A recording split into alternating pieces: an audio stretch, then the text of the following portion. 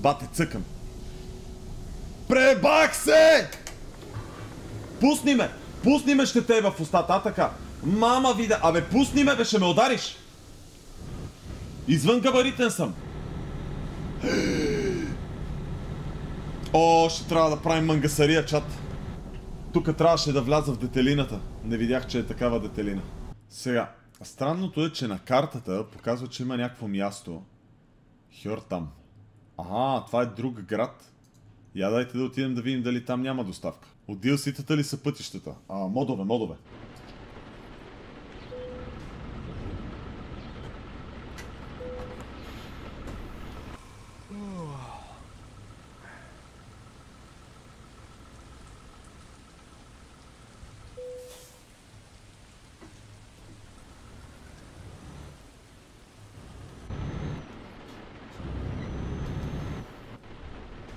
Много труден път за каране. Дай път бе брат. Виж какъв завой трябва да взема с този камион. С тия две ремаркета. Айде газ на тира. Газ на тира по черния път.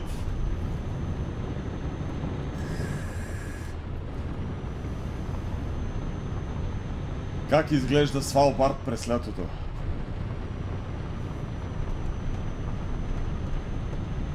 Ми изсипе кафето още малко.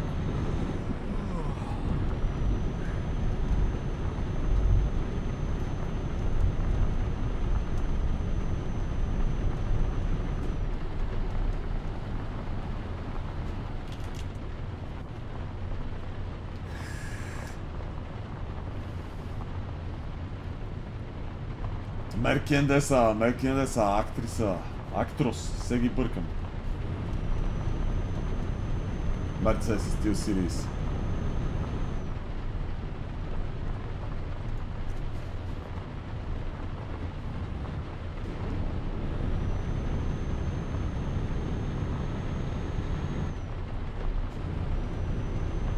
Хьортам, Новград.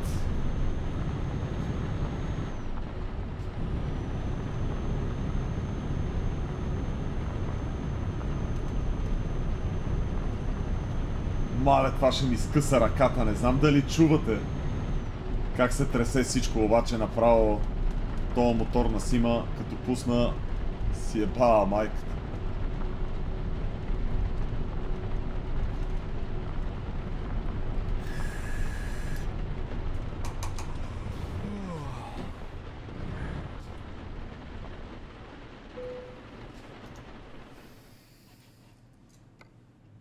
А и тук няма такова. Я да видим извън габаритка. Искате ли я хванем извън габаритка, чат? Искате ли да си заебем ремаркето и да караме извън габаритка? Айде, добре. Мамо, 4200 км трябва да караме. То курс е на практика 7000 км. Ма този път мисля карам през Швеция. И от тук да фана ферибота до Гданск. А така, ферибота е до Гданск, точно така. И от Гданск да си карам. Е, това е. Или да вземем по-разумния. По-разумния курс. Мисля да вземем по-разумния курс, няма да ви лъжа. Берген. Айде да пращаме ремаркето в Берген. Това ли ми е ремаркето? Мамо! Какви ще ти бе? Мале колко е бъгаво всичко това.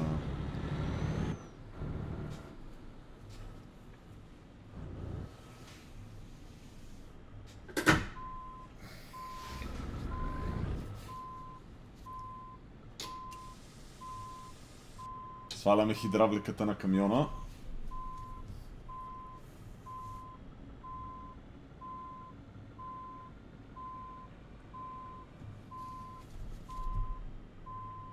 Няма да може да влезем така в това ребърке.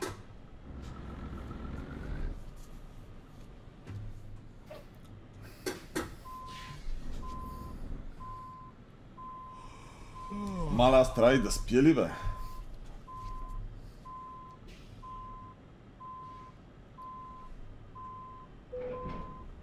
Айде, скачихме го.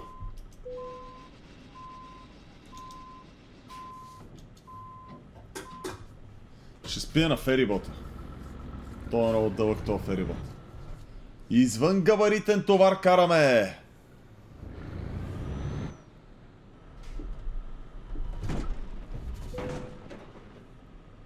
Това е несериозно.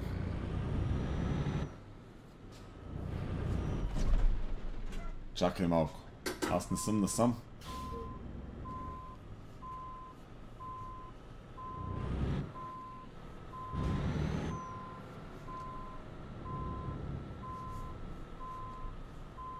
Искаш да ми кажеш, че трябва да направя то завой с тваря марке.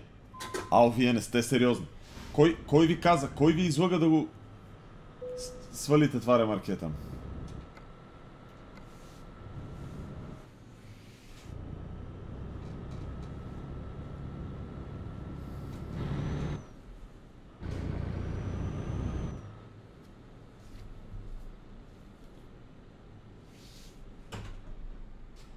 Чай, че закачам ремаркето.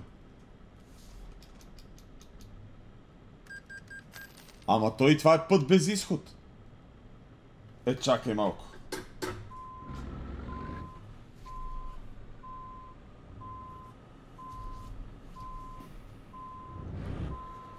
Това е несериозна работа, извинявам се.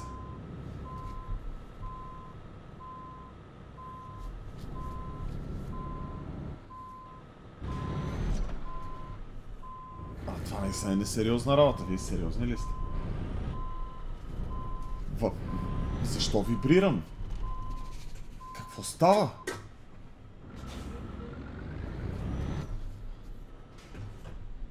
Блъскам се в... Покрива ли, бе? Човек в нищо не се блъскам. Това е несериозно.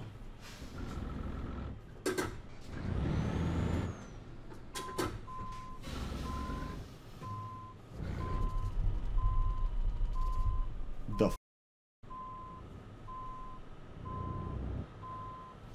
Мале човек, Свалбард е мега бъгав.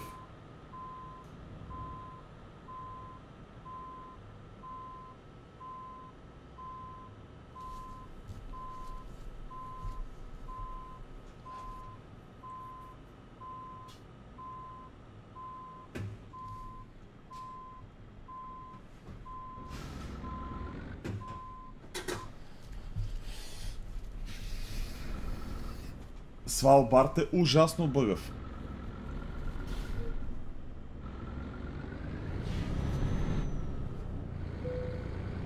Майко!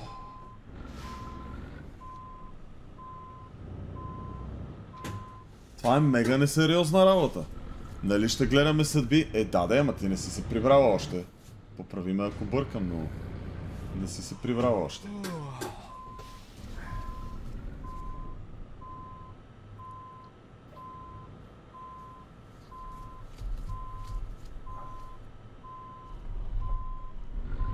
Човек, това ремаркие не може да се бута назад. Супер далеко съм от оградата.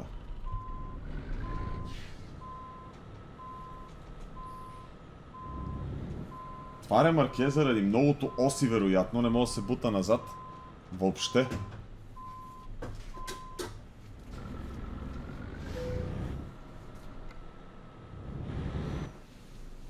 Сами даваш ти по ремаркето, ти нормален ли си?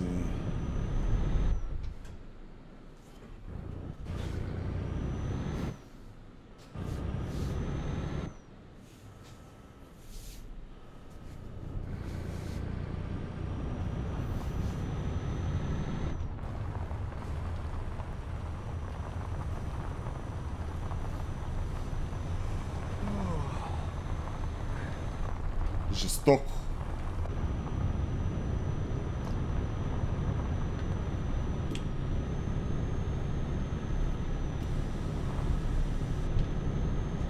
Рестартираме брояча и почваме да караме.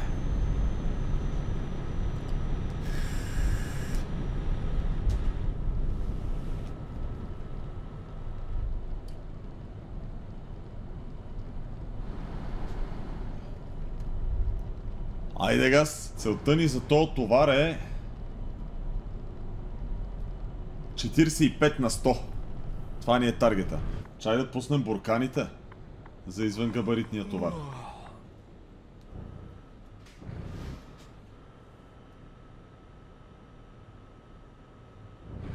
Мале, това ремарке как затваря... Това ремарке затваря повече от... От двойното.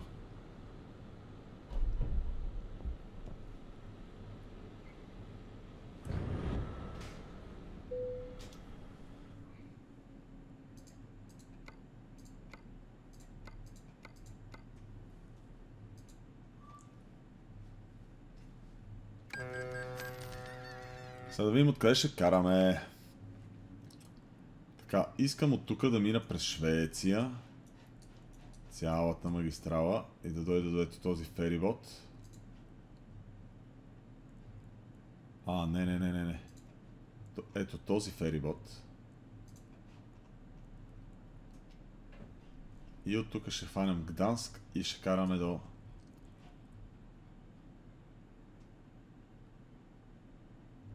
тук.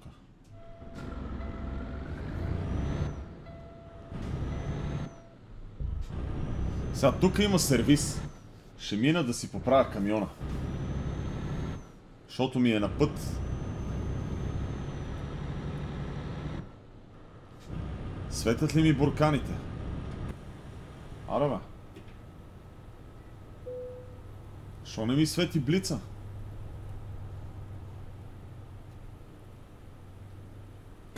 Или аз не виждам. Оф. Ей така, на тая камера нищо не мога да видя човек. За по-късно арк, о да, през нощта ще играе Марк естествено.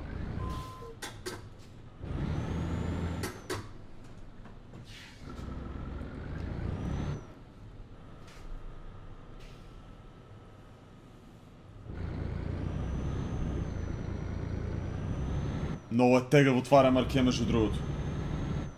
Сервиза ли подминах? Да. А, не, не съм. Сервизът е тук вляво.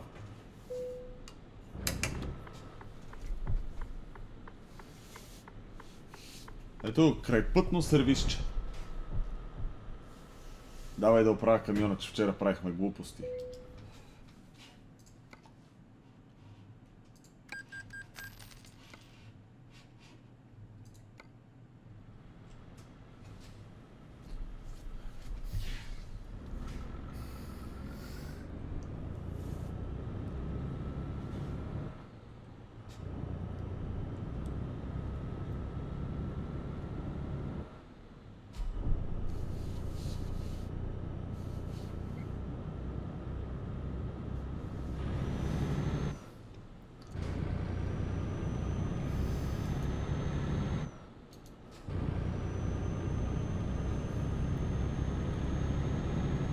Дай сега да видим какво ще правим с разхода. Да излезем на големия широк път първо.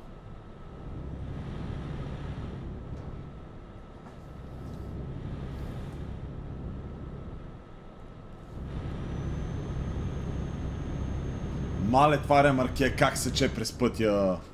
Това ремарке е зверски дълго. И сече през пътя много повече. Отколкото двойните ремаркета секат през пътя. Тук трябва да бъда многократно по-внимателен. Как се позиционирам? Погледнете аз колко външно минавам. Вижте ремаркето седи вътре на кръговото.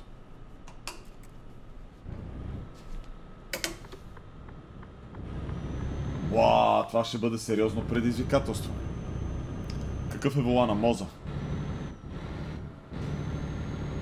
Кокпит е GT Omega, волана Моза.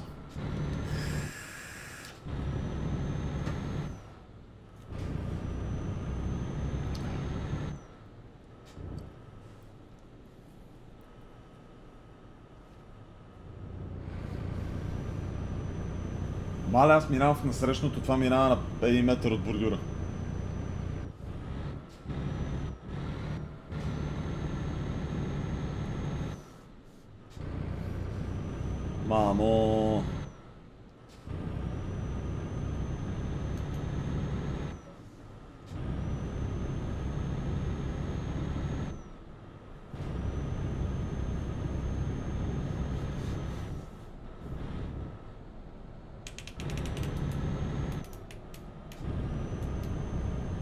тук нямам проблем да ускорявам, защото съм много лек. Предполагам, че общата ми маса в момента е някъде около... 30 тона. Така че сме доста леки.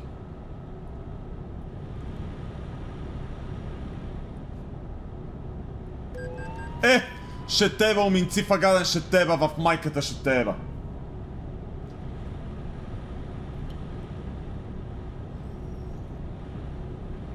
Винаги седат на ограничението на разклона.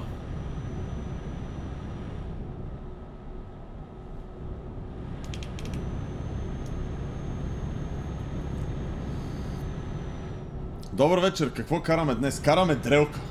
С големия камион, между другото. С големия камион караме дрелка. Голяма, голяма извънгабаритна дрелка, която тежи 8 тона, т.е. с ремаркето около 20 и камиона 29-30. Точно затова целта ми е да сляза на разход от 45 на 100 до крайната си дестинация.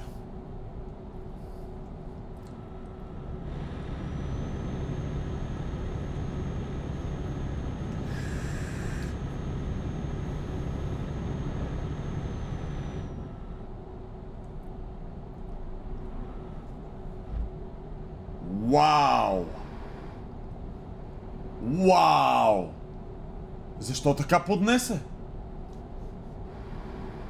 Мамо, това колко скил беше!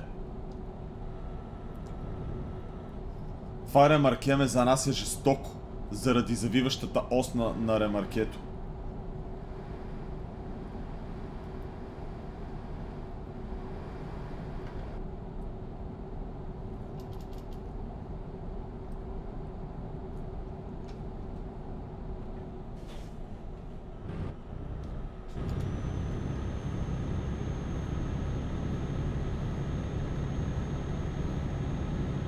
Как няма зего с 80? Човек, това е заради завиващата ос на ремаркето, защото ремаркето... Виж, ремаркето колко странно седи, като завивам. Има една ос, която завива и го бута.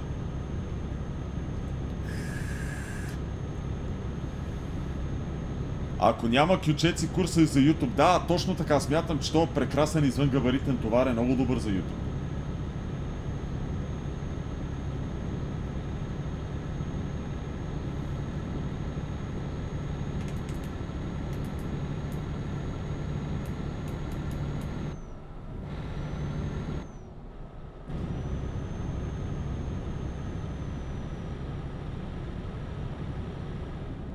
συνέχεια.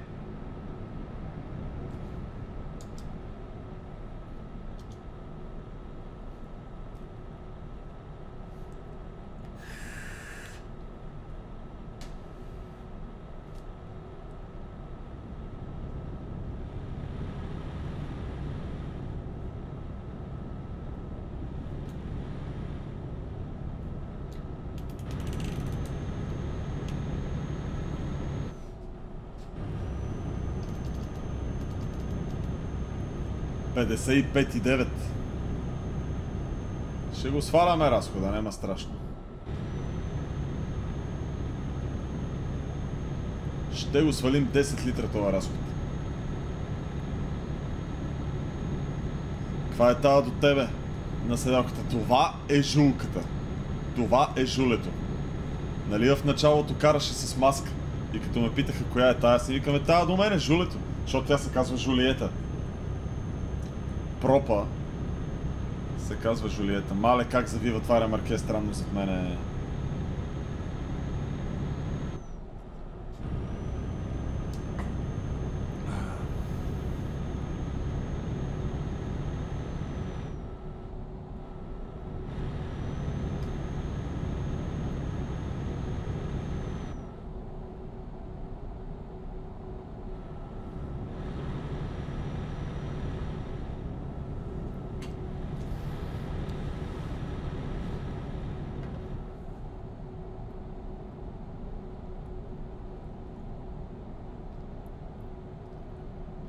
часа е полунощ, между другото. Толкова сме на север, че има бели нощи.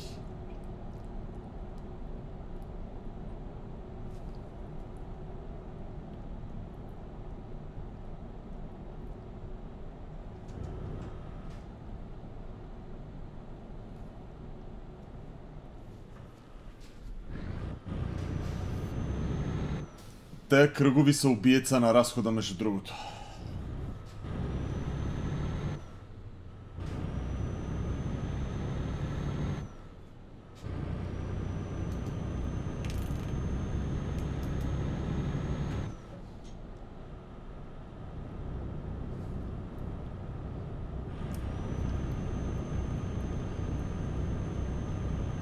Човек скандинавския полуостров е убиец на разхода на гориво.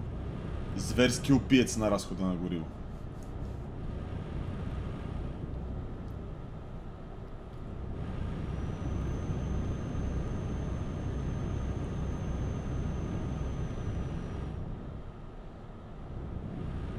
Часът е 12.30 през нощта. Е бах ти белите нощи.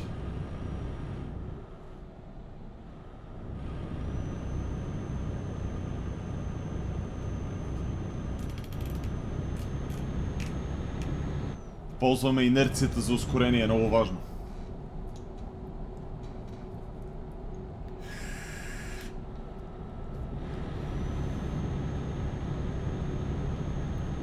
Само под тея баирища нормално да гори като амя, да, да, да.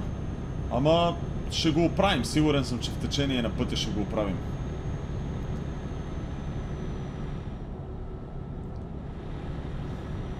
Но е тегаво много с тия баири тук.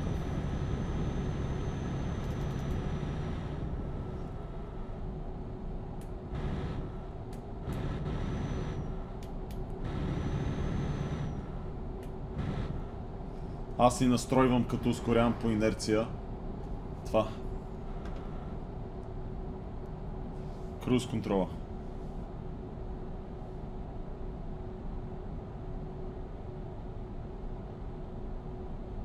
Е, сега примерно виждам, че имам завой. Няма смисъл да давам газ, пускам я по инерция да се дотъркаля до завода. Това съм толкова тежък, но са много инерция. Инерцията е равна на масата по скоростта.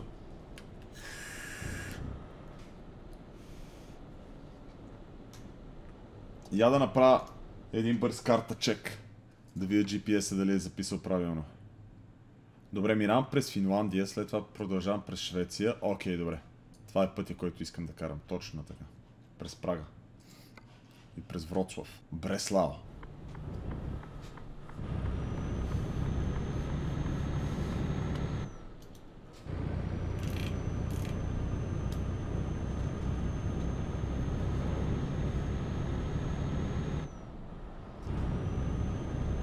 Suomi.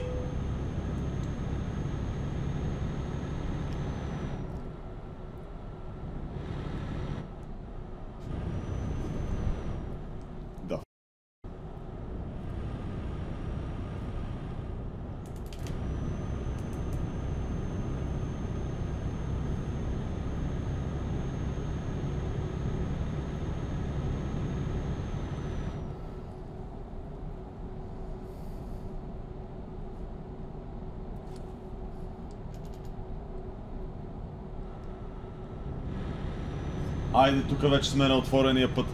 Тук трябва да почне да пада разхода, макар че финландеца има много таски кръгови насякъде.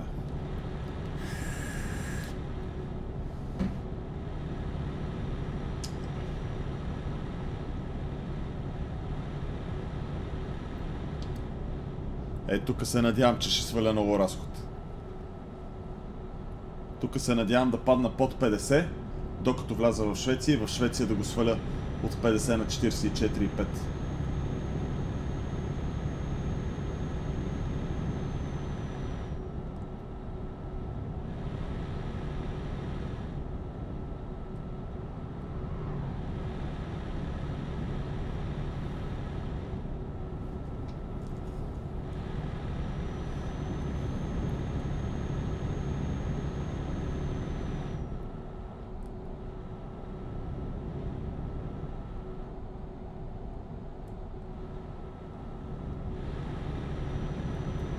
Изяж го то отпред с спрайта. Не е спрайт, бе. Въобще нямам намерение да го изяждам. Това знаеш ли колко ще ми качи разхода? Аз искам тук да използвам този хубав, сравнително равен, сравнително прав път да смъкна разхода. Нали ти казвам, тук искам да сляза под 50. Ма пак имам някакви безкрайни баири, ти нормален ли си?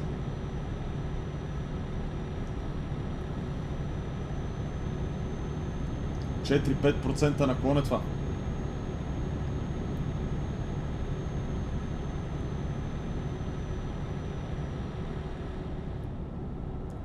Айде, изравнихме.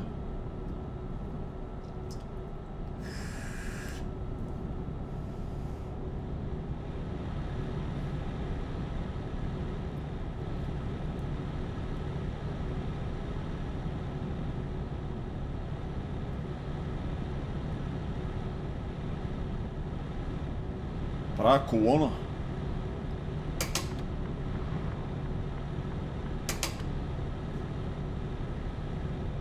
ще да изпреварва.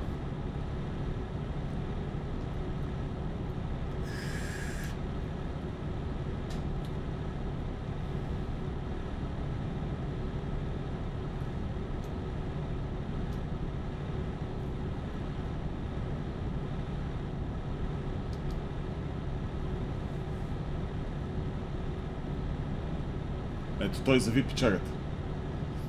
Айде наближаваме 50 на 100 разход, охо тирчета. Естествено, че тирчета, нали така сме се разбрали? Искам преди шведската граница да съм на 50. Айде! 50 на 100 разход! Отиваме към 45. Бяхме на 60 по байрите.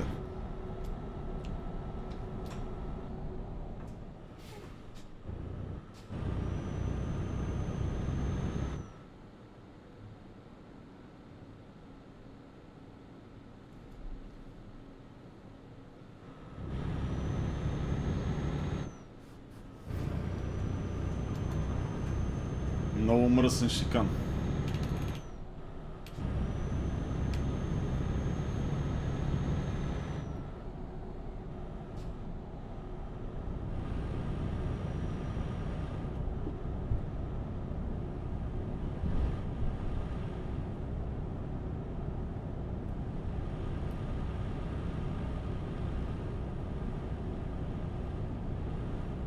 Мина на последния на Мидин Косъм. Да, знам.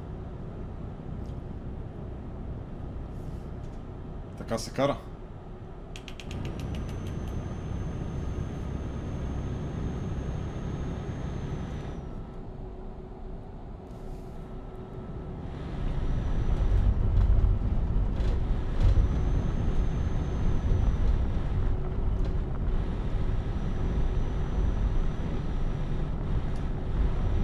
Брех.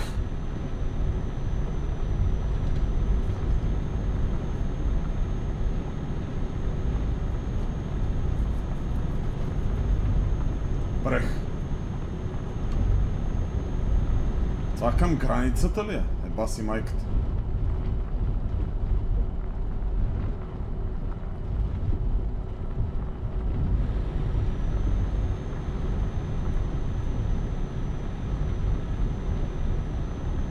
Тука наврати. Наврати по този път.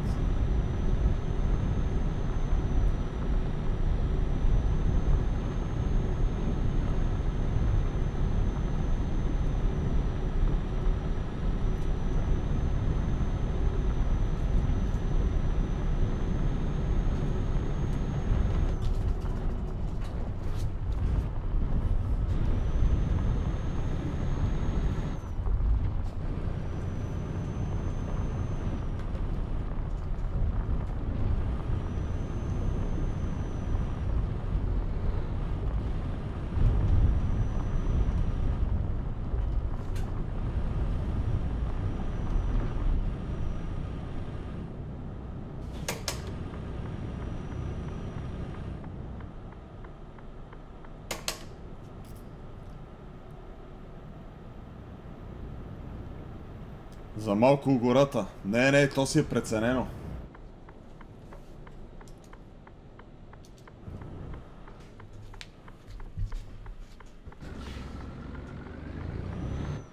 Бат, това ремарке супер много сече пътя.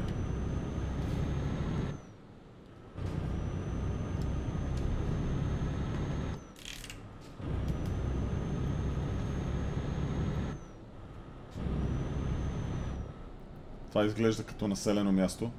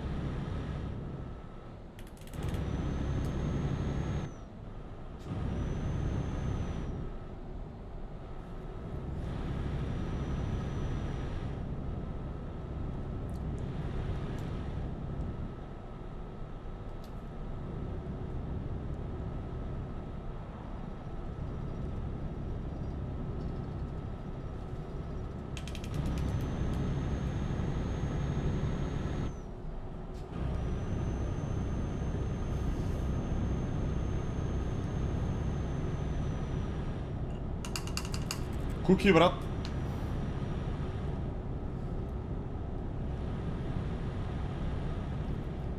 До сега тайм, таймера става ли 1 3-3-7-7-7-7? Сигурно не знам. Трудно 77 минути и 77 секунди, но може би другия път. Още ли не съм в Швеция, бе? Айде вече се задържаме под 48. Тахограф чек. 56 минути. Тоест трябва да спя като вида, трябва да спя.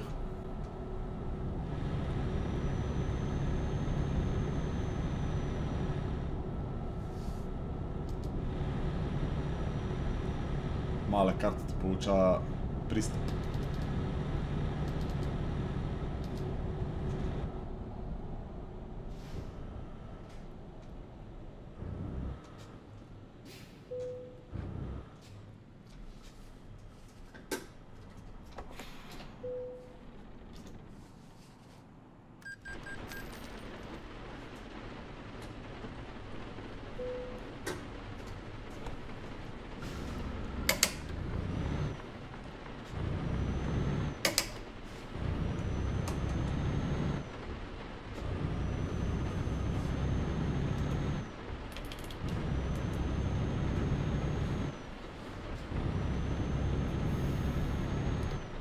Прозорецът е отворен и някакъв маник пита. Зимата става студено, защо? И съм... Като как обясняваш на дете? Буквално ми прозвуча, защо небето е сино. Еми, казваш му, че слънцето е изморено цяло лято да грее, отива да си почине и затова дните са по-кратки и съответно, когато грее по-малко е и по-студено. Обаче слънцето трябва да си почине, за да имаме пак такова хубаво лято. Сега, много е трудно да му обясниш, че уста на Земята спрямо магнитния полюс и равнината на Слънчевата система има 23,5 градуса на кон, които предопределят сезони и средно по 3 месеца и че зимата всъщност е два дена по-кратка заради елиптичността на орбитата на Земята, което нали, води до по-малко нагряване и по-малко слънчеви часове в северното полукълбо. Нали? Е! Човек, карам с 65, какъв е проблема, бе?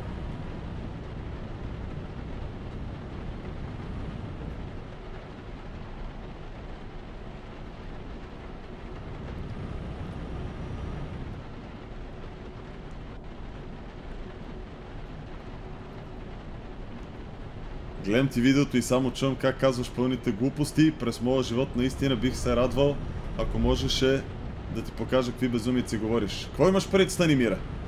Кажи ми, моля те. Ще ти позволя да, ти, да ми покажеш. Аз съм абсолютно отворен винаги за такива неща.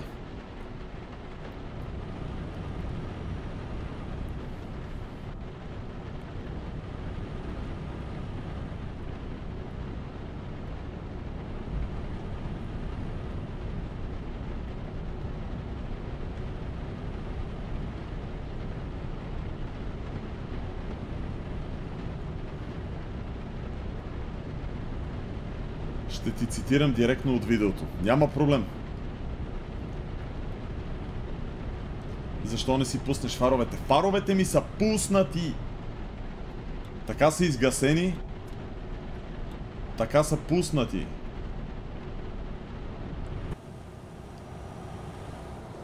Виждаш ли? Светят.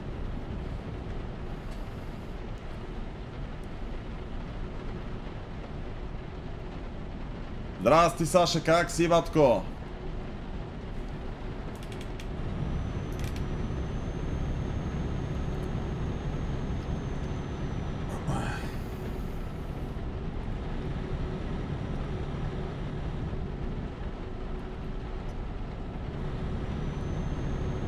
Мисъл, то е 5 след обед. Това е БМВ, нали? Здрасти, тревичка ми дай.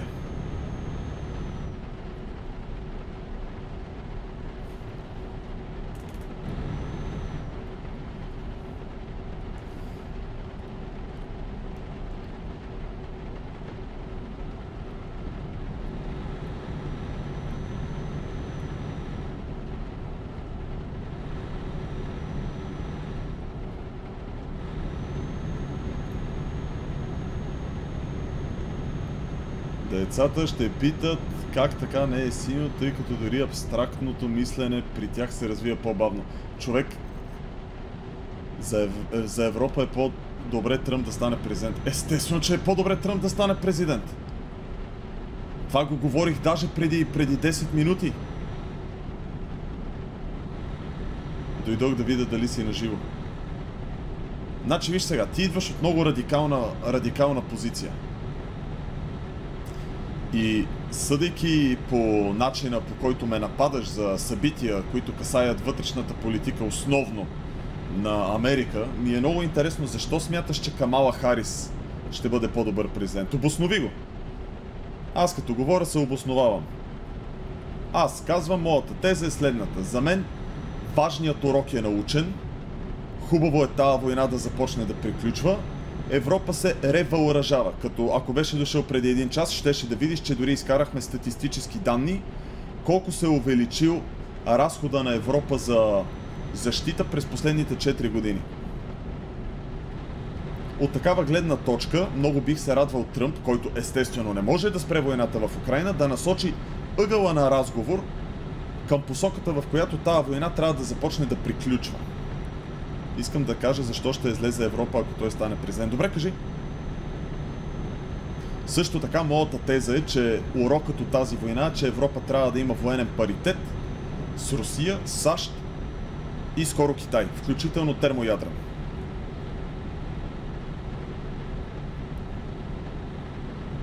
Това е моята теза. Моята теза е много проста.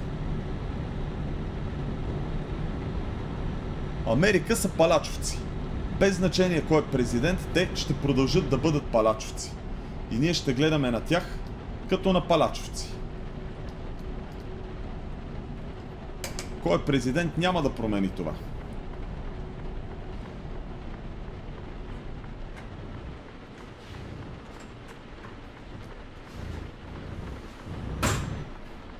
Уау! То какъв брейк чек мина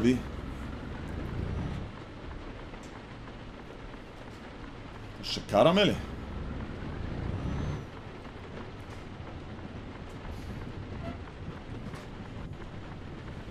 Ама е хубаво войната да приключи не с още една властна държава като Беларус. Ти спомена, че Европа се въоръжава, което е вярно, обаче Тръмп иска цяла Европа да дава повече пари за армиите си, което е по-малко пари за държавите по само по себе си. Брат, изречението, което казваш, носи нула смисъл. Не се ебавам, не се заяждам, не разбирам. Какво искаш да кажеш? Ти спомена, че Европа се въоръжава, което е вярно, обаче Тръмп иска цяла Европа да дава повече пари за армиите си, което е по-малко пари за държавите по само себе си. Какво?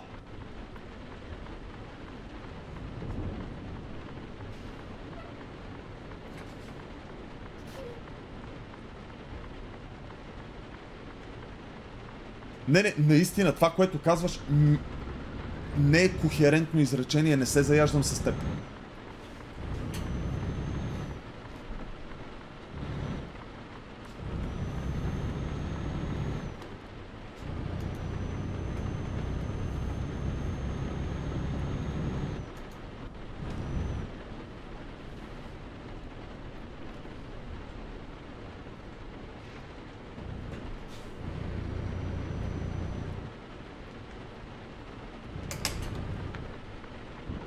Плюс това, съобщението ти няма пунктуация, което, нали, не искам да се заяждам като граматически нацист, но го прави много трудно за разбиране. Смяташ, че по-високия харч за защита ще доведе до по-малко пари в други аспекти на държавата ли? Така, Пресли, ако даваш повече пари за едно нещо, друго нещо получава по-малко или тези пари, които се които, моля те, не който се дават за армията, могат да се вложат в нещо друго. Ама чакай сега, едното няма нищо общо с другото. Защото държавата има бюджет. Нали така? Държавата има бюджет. Войската има бюджет. Социалните политики имат бюджет. Тези бюджети не са пряко свързани една, е, един с друг. Те може да имат някакви допирни точки, но фундаментално те са различни бюджети. Работата на държавата е да намери парите, за да финансира тези бюджети и тези харчове. Тоест, твоето неразбиране и твоето несъгласие фундаментално идва от твоята неспособност да разграничиш двете неща. примерно, ще ти дам пример с България. Харча на България за въоръжение, за, за защита, както се казва, е сравнително малък харч. Това означава, че дори увеличението му до 2, 2,2% от БВП нетно няма да струва много пари. Което означава, че тези пари няма да излязат от джоба на пенсионерите. В идеалния случай тези пари излизат от джоба на политиците. И когато се правят едни антикорупционни реформи и държавата функционира добре, като подкрепяме, например, антикорупционна политика, по този начин пари има и за едното, и за другото. И това България да бъде по-добре защитена и да бъде по-добре интегрирана част от НАТО, особено на източния фланг на НАТО, е добре за всички нас. Не виждам как някой може да бъде против това. Сега не мога да разбера как даването на Украина на Русия е добре за Европа. Никой няма да даде Украина на Русия. И никой не иска да види Русия да печели тази война. Но в света съществуват определени реалности. Като например, че войната е много скъпо нещо. Като например, че във войната умират много хора. И като например, че има реално статукво на фронтовата линия, което от близо две години не мърда съществено. Когато вземем тези реалности предвид, дори Европейския съюз започва да говори на Украина за това, че може би Украина трябва да има план Б. Никой не иска да, да печели Русия войната. Но реалностите са такива каквито са, за това е война. Това да гледаме войната отвъд нейните фактологически реалности просто няма допир с начина по който нещата седят в действителност.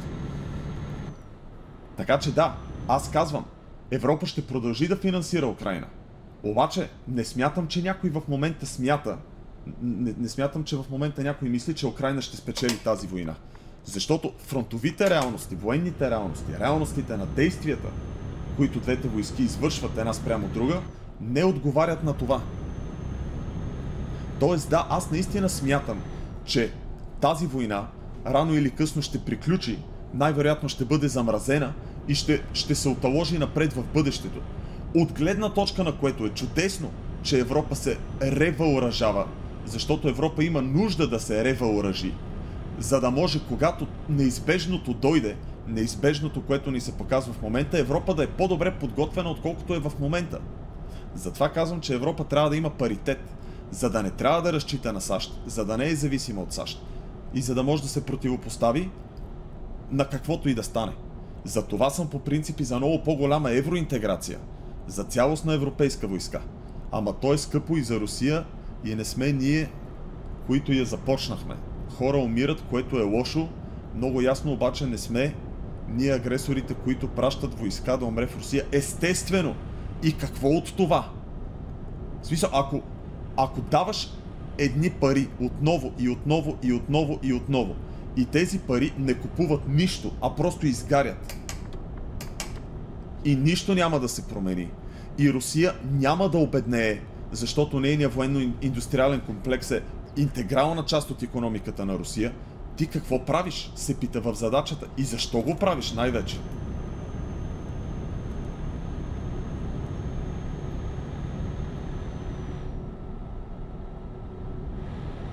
Съгласен съм, че е скъпо и за Русия.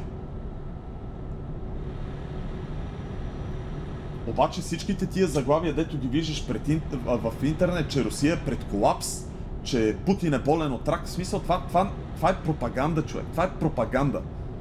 Пропаганда има и от двете страни.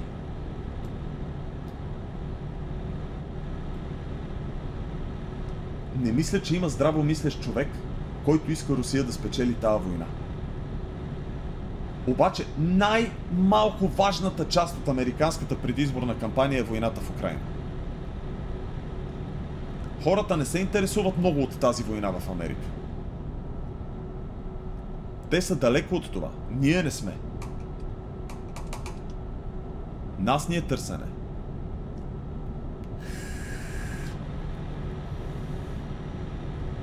Така че да, на тебе може да ти се струва, че говоря някакви глупости. Обаче може би ти не виждаш реалностите.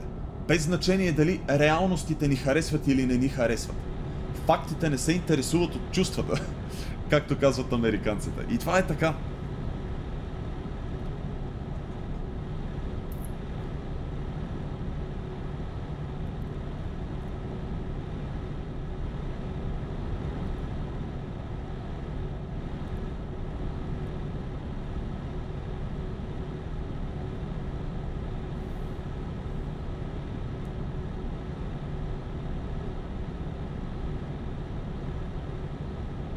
Затова хората воюват.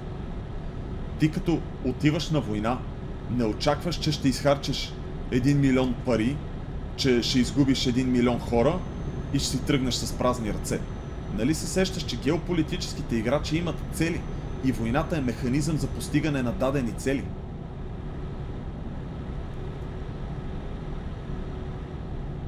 И да, без значение какво казва Русия, НАТО не е във война с Русия.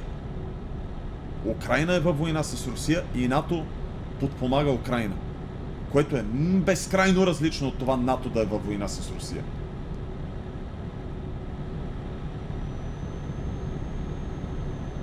Русия може да се защити много по-добре, ако има Украина. Виж сега, в Украина, в източната част на Украина, в, особено в Донецка област, има основните, основното количество фабрики украински са там. Така че основната част от украинската индустрия се намира в Донецка област. Основната част от природните ресурси на Украина се намират в Донецка област. А, спрямо статуквото в момента Украина ще изгуби по-голямата част от излаза си на море. Това е ужасна ситуация за Украина. Това е все едно тук да, да дойде някой, да ти вземе цялата Бургаска област, да си вземе Ямбол, да си вземе Кърчали. Естествено, че няма да си доволен. Естествено, че е много лошо това за теб. Обаче пък, ако смяташ, че след още 3 години ще умрат още 1 милион човека и пак ще ти вземе тия места и ще си изхарчил 1 милиард пари и няма да можеш да се възстановиш след това, кое е... То дори не е рационално, то е прагматично в един момент нататък. Пак темат, пак за темата как въобще е по-добре Тръмп за Европа, защото той буквално казва, че държавите ще плащат повече, да вкарват в Америка и американците ще плащат по-малко такси. Човек, ти въобще не разбираш. Казвам ти го съвсем искрено. Не разбираш какво говори Тръмп. Притеснявам се, че чуваш нечи много нефактологични интерпретации. Как държавите ще плащат повече да вкарат в Америка и американците ще плащат по-малко такси. Първо, какво, какво имаш предвид под такси? Данъчната политика на Тръмп, защото предполагам, че говориш за данъци, не за такси. Защото има данъци, има мита. Тръмп говори много за данъци, което са таксес, и има много мита, което са тарифс. В смисъл, как така Европа ще плаща на САЩ? Европа не плаща на САЩ. Европа търгува с САЩ. Европа дава пари на САЩ и получава нещо в замяна. По същия начин, по който САЩ дава пари на Европа и получава нещо в замяна. Това се нарича търговия. Не се нарича даване. Никой не дава никому нищо. Ето, примерно, Сената гласува, Конгреса гласува преди няколко дена да продадат 26 F-35 на Румъния за 7,2 милиарда долара, нещо такова. Според мен Станимир, ако е гледал повече политика извън нашите едностранни медии, може да ти каже компетентно мнение. Проблемът е, че Станимир идва и ме напада, защото нещата, които аз казвам, не му харесват и не резонират с неговия информационен балон. Това е прекрасно, но е проблемно, защото Станимир не е запознат по абсолютно никакъв начин с проблема. Станимир чува едни неща, които не може да навържа. И от негова гледна точка той е прав за себе си, защото той има някакво мнение. И не търпи това, че нечие друго мнение може да бъде вярно за сметка на неговото, защото е по-добре информиран. Аз наистина от това, което виждам от Станимир, твърда, че съм по-добре информиран от него. 32 F-35 за 7,2 милиарда за Румъния. Ето, това е търговия. Румъния иска най-добрите Lockheed Martin изтребители. Обаче Румъния ни не произвежда F-35. Multipurpose Aircraft. Нали така? Американците ги произвеждат. Multi-Role Combat Aircraft. It looks so beautiful. What GPU this? Uh, on my sim computer I have a 2080 Ti and on my streaming computer I have a 4090. Only the best. Именно защото според мен той гледа само едната страна, дали от нашите медии или от други, говори как всички против Тръмп просто не знае какво да каже. Да, а наистина, а, според мен, и, и това го казвам съвсем, съвсем откровено, не познавам здраво мислещ човек, който да иска Камала Харис да бъде президент на САЩ. Защото разбират връзката на ЦРУ, защото разбират колко недемократична е демократичната партия, защото поразбирват някакви, поразбирват някакви работи, обвързани с колко е дълбока дълбоката държава в Штатите и колко много власти имат недемократичните служби там. Много опасно за целия свят.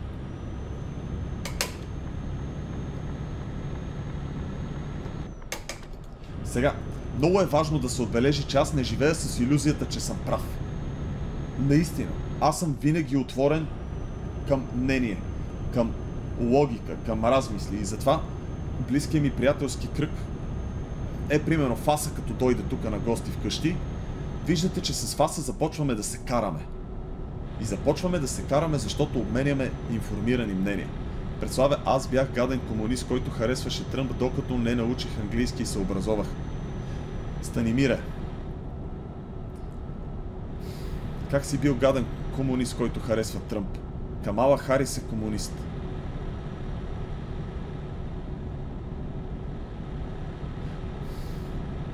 Станимира, ти си, ти си един път феномен.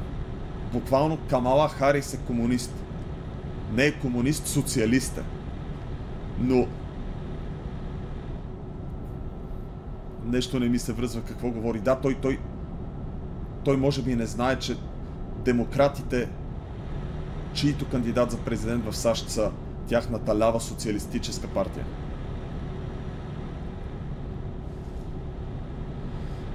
Бащата, бащата на Камала Харис, между другото, е професор, университетски професор по комунизъм. Марксист. Има и го предвид това нещо.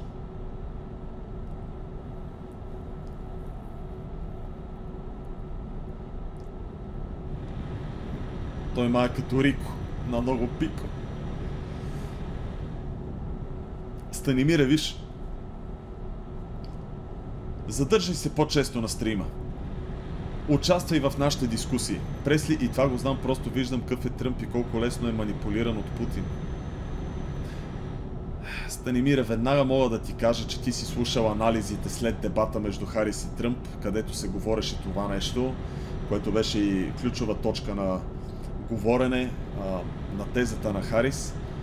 Обаче, вярвай ми, в световната политика, освен ако, не, ако някой не ти плаща, той не може да те манипулира. В, в световната политика няма приятели, има интереси. Братлето гледа дебатите от TikTok, което е голям проблем.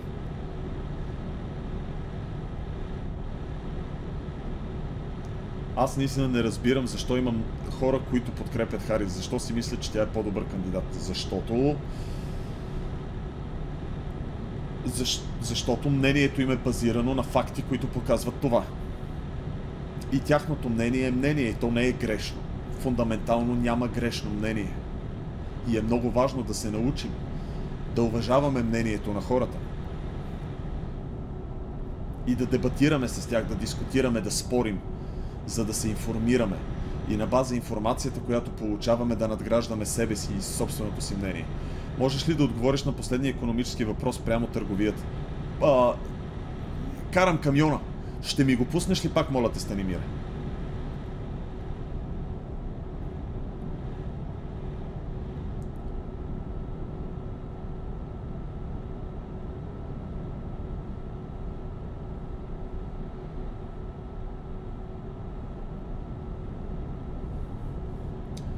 Мнението трябва да дава някой, който може да застане с факти и да го защити според мен. Да.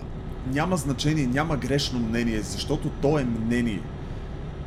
Самия термин мнение не изисква някаква фактологичност. То не е теза, не е аксиома, не е догма.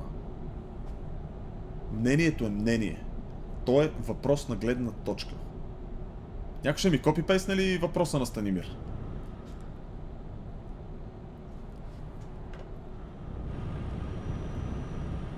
Колко километра е курса? Нямам идея, но сме минали 1100 точно.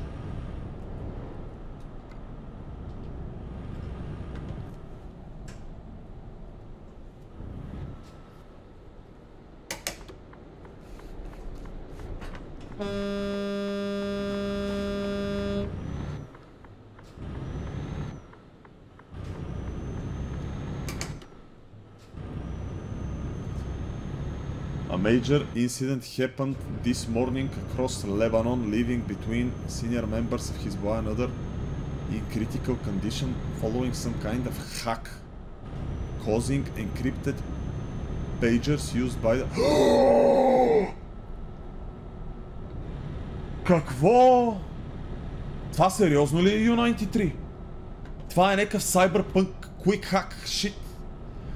Именно и търговеца като вкарва по-малко в САЩ, защото му е по-скъпо, ще има по-малко стоки в САЩ и ще поскъпнат и без това. И търговеца ще плаща повече, и американеца ще плаща повече. Не Станимира, не си прав. И веднага ще ти обясня защо не си прав. Цялата световна търговия се случва в една определена валута, с изключение на държавите от БРИКС, които се опитват да разбият тази хегемония. Тази световна валута, която търгуват, световния резерв, е американския долар. Когато американския долар, освен световен резерв, е и валута на една конкретна държава, която може да печата тази валута, то тогава тази държава има огромен економически контрол върху целия свят. Предполагам, че това нещо, което ти говоря в, в момента ти е малко далечно, но самия факт, че американците могат да си позволят да имат 35, отива към 36 трилиона долара външен дълг, може да съществува само и единствено ако те сами си печатат парите, с които да изплатят този външен дълг, което и се случва. Така че а, търговията на американците е винаги обезпечена от това, че техният федерален резерв печата валутата, в която те търгуват.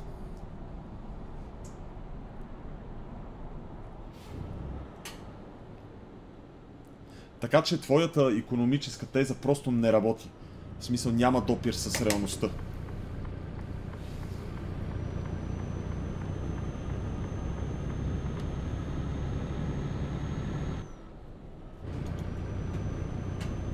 А иначе, това нещо, което ти се опита само по себе си да обясниш, се нарича дефлация, обаче... Така, чакайте секунда, дайте да се върнем на Мосад. Искате да ми кажете, че Мосад са хакнали пейджерите на Хезбола и са ги взривили. Взривили са пейджерите. На 2000 пейджера са взривили Мосад.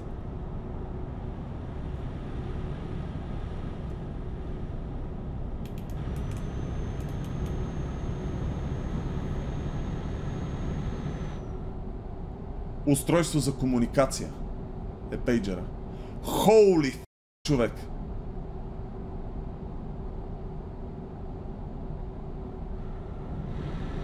Е, след малко ще го видим.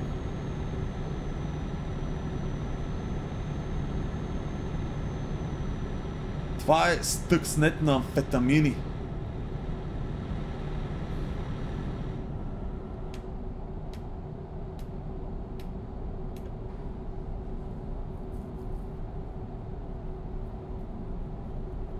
Cyberpunk чука на вратите ни. Да бе човек, точно това казах, какъв е то quick hack, Cyberpunk shit, хорей shit, смисъл, what the fuck. Пресли, като казваме CNN, какво ти е мнението за тях? CNN е... А... Лява медия, но не е от най-левите медии. За съжаление има още по-крайни медии от CNN. Не се е с Mossad Type Shit. Човек направо не мога да повярвам какво чета. Какво има в пейджера, че да се взриви микрочип и батерия? Всичко, което ти трябва литиево-ионна батерия.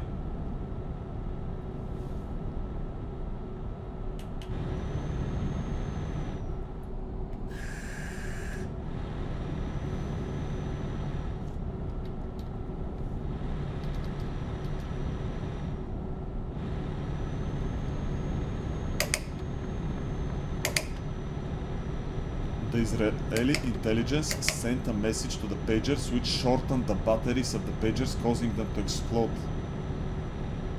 Oh my fucking god.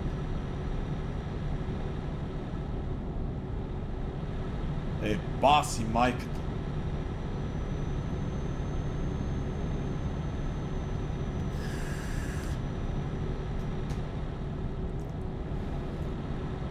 Гледайте, вече сме доста по-на юг и няма такива бели нощи.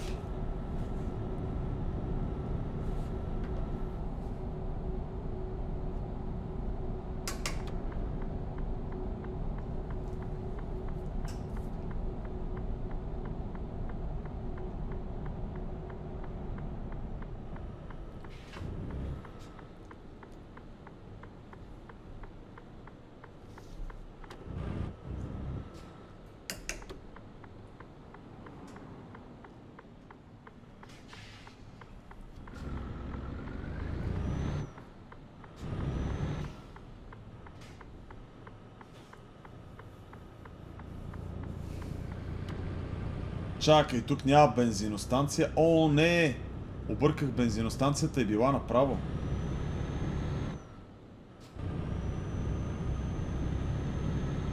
Добре, първо ще спим тука.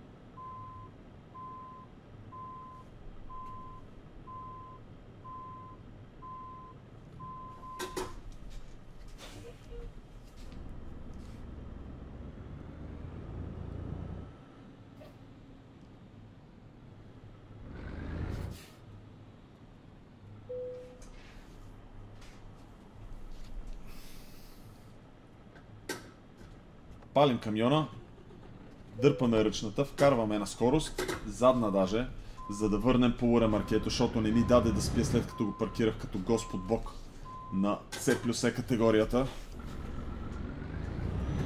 What? Защо не завива? Човек, това ремарке много пречи.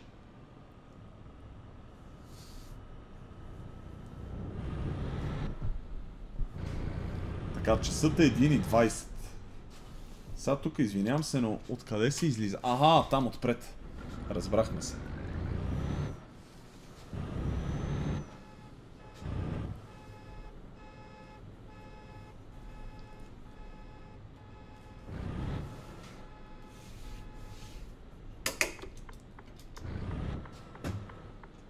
Мале, как крие огледалото?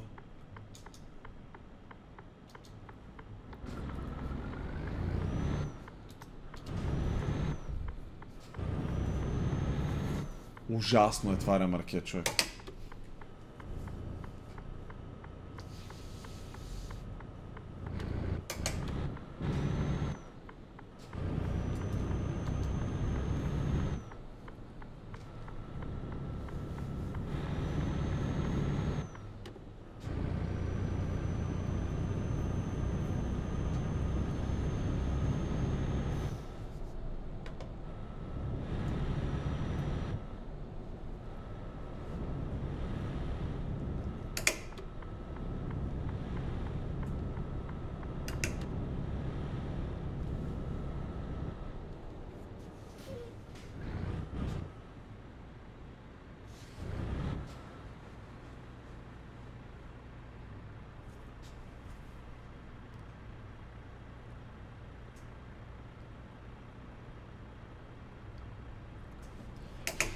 Всъщност, тя да направя тази мангасария. Така като гледам картата, мисля, че ще бъде по-добре.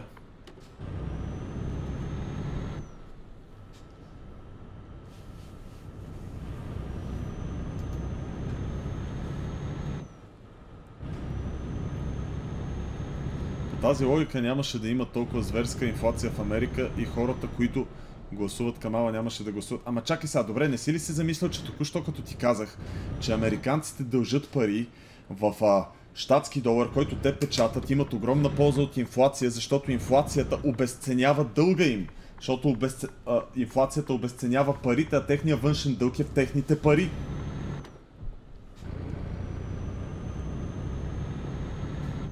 Така че да, политика на американците е да има такава инфлация. Инфлацията е супер за външния дълг, инфлацията е ужасна за обикновения човек. Защото по време на инфлация обикновеният човек обеднява.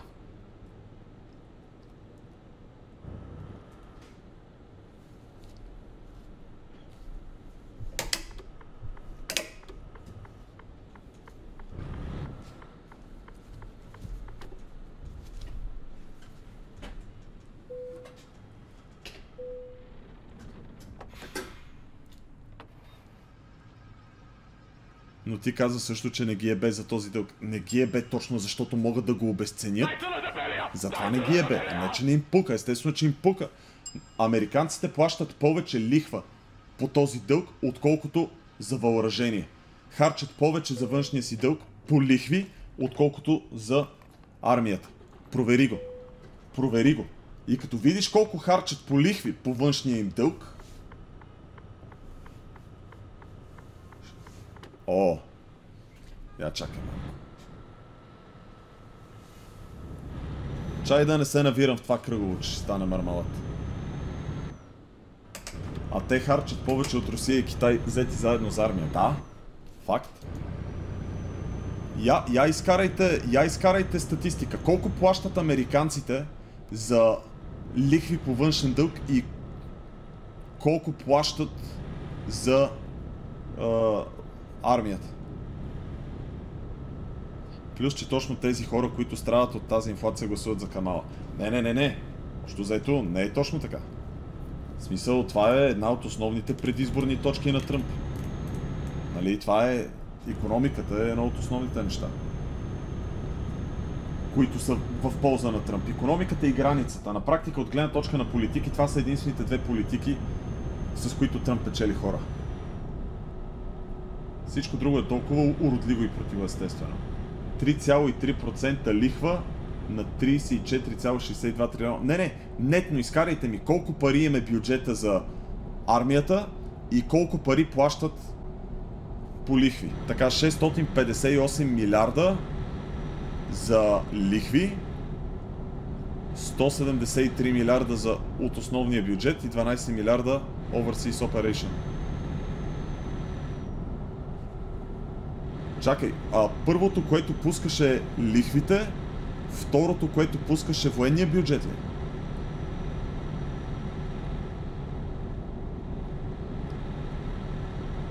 ...916 милиарда е бюджета за армията за 2023. А лихвите?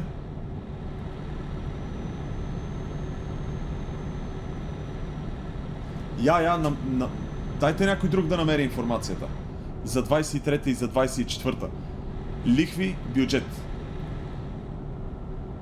От пак ви казвам, не претендирам, че съм прав, но, но това е нещо, което четох наскоро. Може да е било фалшива информация. И може все още бюджета за армията им да е по-висок.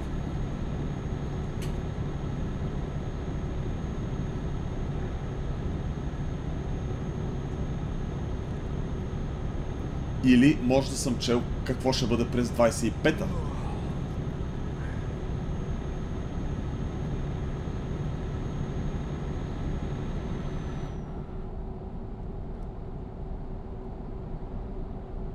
...916 войска лихви 658.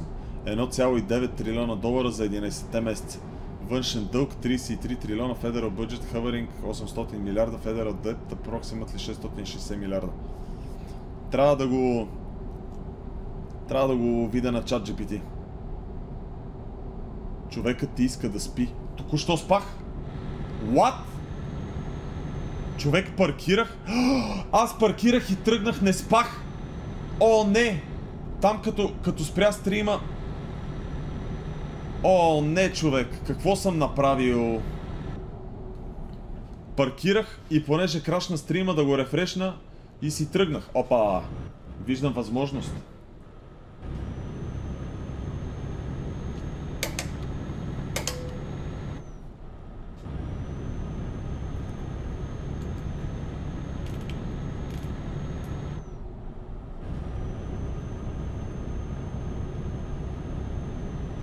Така. Gross interest payments on US debt topped 1 trillion within it, this top line. The legislation authorizes 841 милиарда for the Department of Defense. Тоест съм прав и наистина плащат повече лихви, отколкото им е бюджета на, на армията, така ли? Очаква се до края на годината общите разходи да достигнат 1,158 трилиона долара. Да. Окей. Okay. Тоест наистина плащат повече лихви по външния си дълг, отколкото им е бюджета за армията. И работят на такива брутални дефицити от по 6 до 8% последните години. САЩ буквално са дълг към себе си. Не. Дългът им е основно към Китай. Но дължат на Китай парите, които те печатат различно. Не са в дълг на себе си. САЩ са в дълг на себе си, когато купуват парите на Федералния резерв с заеми от Федералния резерв с лихва. Но това е много сложна тема, която не съм готов да, да дискутирам. Тогава, щом Тръмп е толкова за бордъра, защо изрязва парите за него? Станимире, пак говориш глупости, приятеля.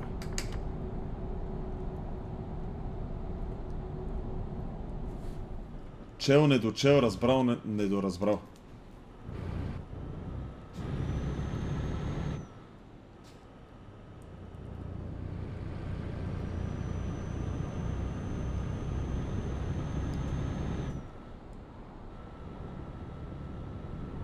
Тоест от тази година, от 2024 плащат повече за за лихви, отколкото за армията.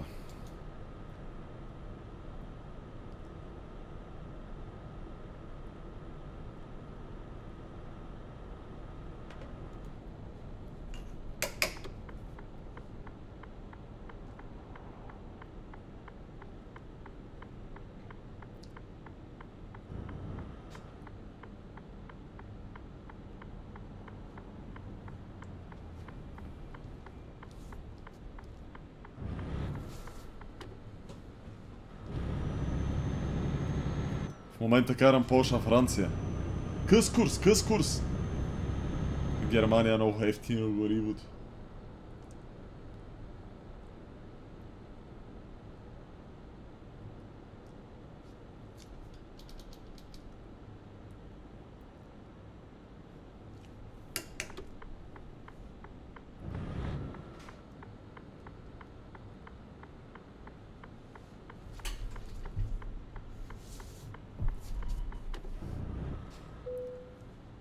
Мале, не мога да повярвам, че спрях и не спах.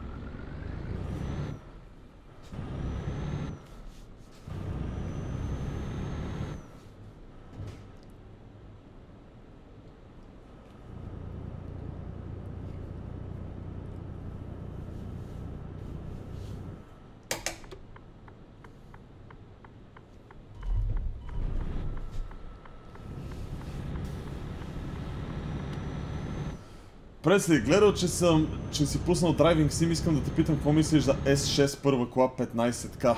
Какво беше правилото цената на авто? О, моля те не ме занимай с това в момента. Ефтино Ауди не си купувай, вярвай ми. Мога да питаш всички.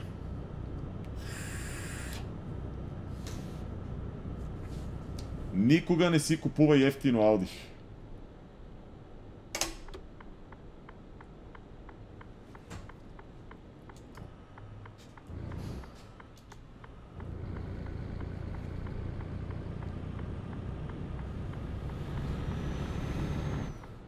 Минах на червено с ясната идея да ме глобят, защото а, не мога да си позволя да губа тази инерция. Твърде много нафта струва.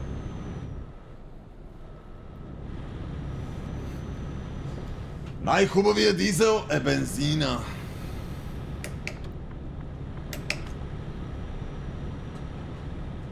Що не си купиш за първа кола някакъв тараласник? Защо? Защо трябва да, да даваш 15 000 лея за първа кола, която ще ебеш майката така или иначе?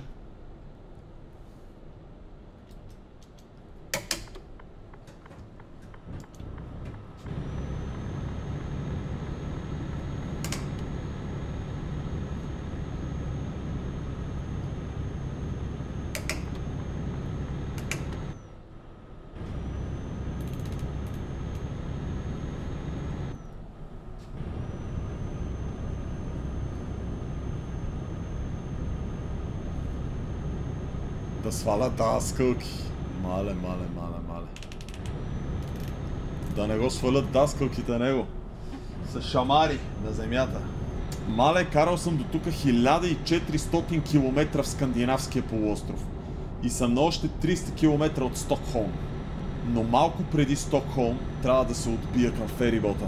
Спомням си, че беше казал по едно време, че няма да харесваш Андрю Тейт, ако той бъде осъден тогава, защо Тръмп, като е пълен престъпник и неморален човек. Станимире, наистина слушаш само едната страна на нещата. Ти видял ли си Доналд Тръмп да извършва тези престъпления? Не го защитавам. Обаче, за разлика от Андрю Тейт, Доналд Тръмп наистина е човек, когато имат много за какво да го мъчат. Никой не живее с иллюзията, че Доналд Тръмп е светец, но съдът оправда Доналд Тръмп по всички обвинения без две, които в момента се обжалват. Така че финално решение по делата на Тръмп няма. Финално решение по нито едно от делата на Тръмп няма. Това, което Камала Харис казва, че той е осъден е факт. Той е осъден на първа инстанция. Те трябва да го осъдят на другите инстанции, за да потвърдят присъдата.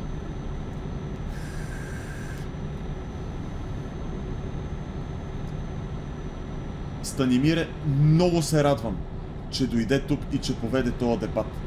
Надявам се да останеш за дълго време на стрима, не за да се биеш с мене, ами за да започнем да се изслушваме и да проверяваме тия неща и тези работи, които се говорят по обективни начини, а не да гледаме само едната страна на пропагандната машина. Защото това да гледаш само едната страна на пропагандната машина е най-сигурният път към радикализацията. Ма аз не съм никой да го образовам.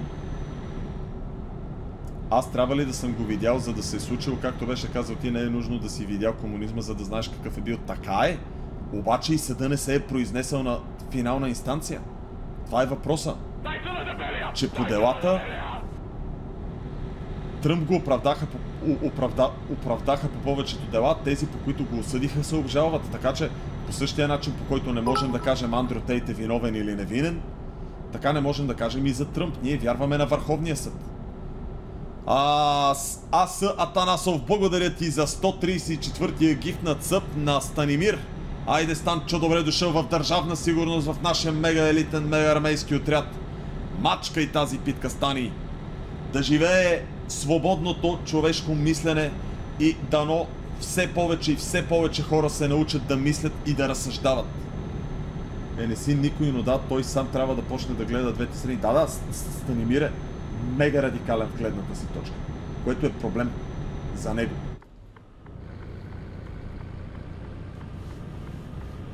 Абе, Балтийско море става ли за летуване някога?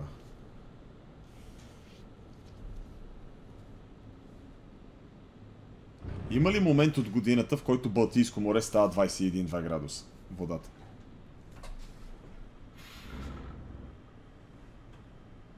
Добре бе, откъде трябва да мина бе човек? Много ме дразнат тия фериботи.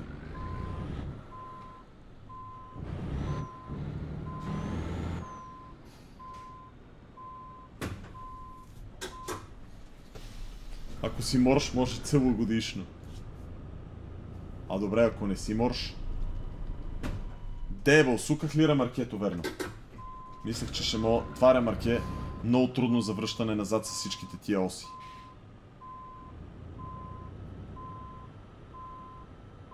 Много, много са ми тегави тия фериботи, човек.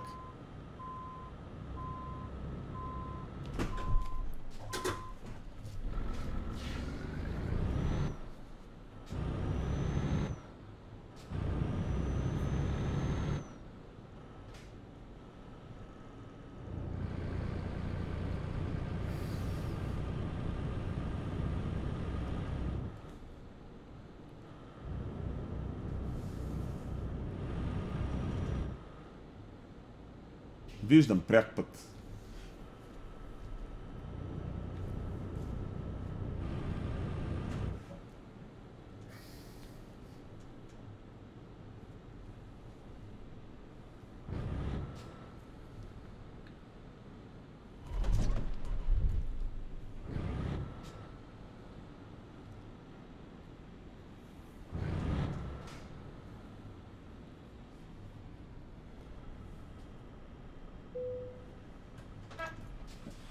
Гданск!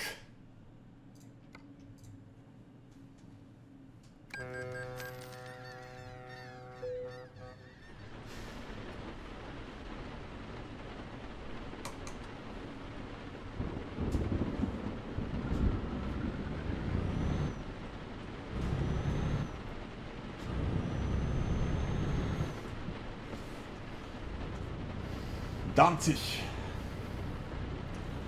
Пътуваме Данцих Бреслау в момента. Гданск.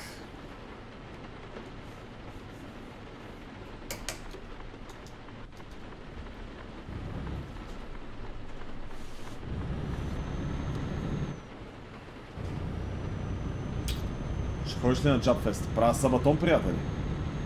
Трудна работа. Отдал съм се изцяло на вас. До къде е курса? До Чехия, ама до къде в Чехия? До Ихлава. Не съм сигурен какво е това населено място.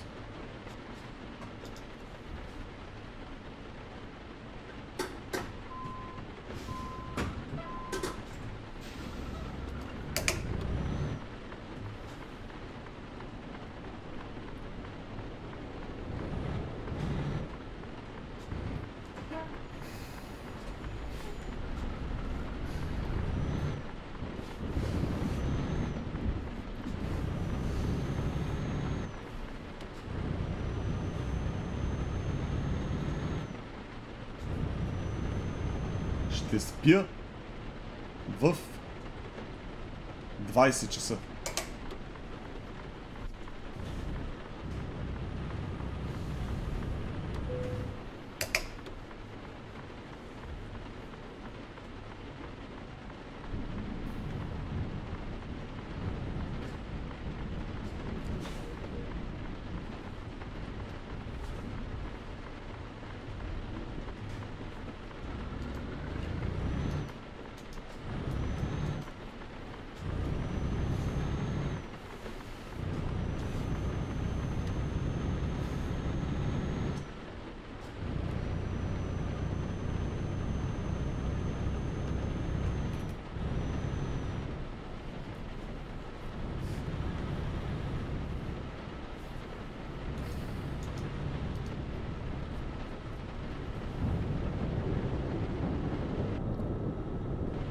Steam Deck нищо не каза. Аз ли?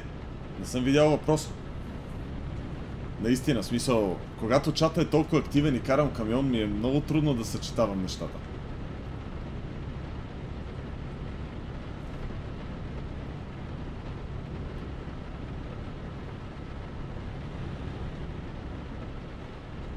Вроцлав! Пътуваме към Вроцлав! 5-6 години караше Скания и летеше с 140 и шестица ръчка, сега май си поостарял.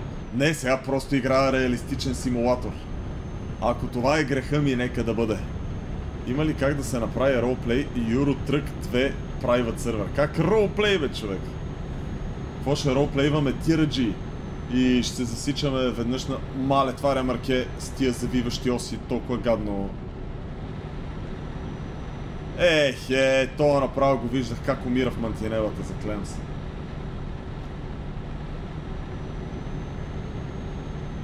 Мале, как дрифтим.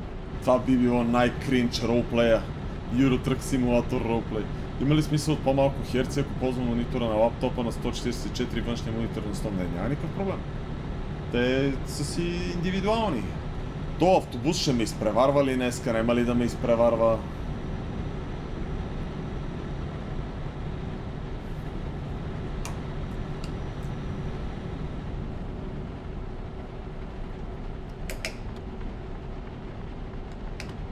А, чакай бе.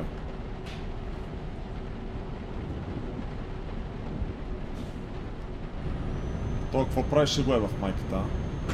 Човек винаги го правят това нещо. Винаги го правят това. Идва пътен възел, скача ми на спирачките да го е бав майката.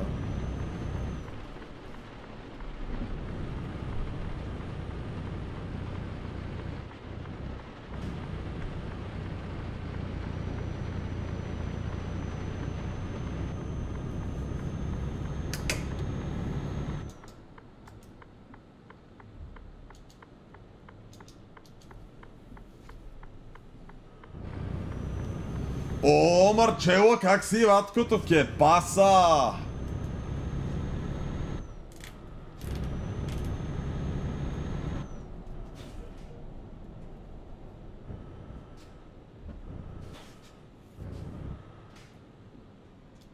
Е,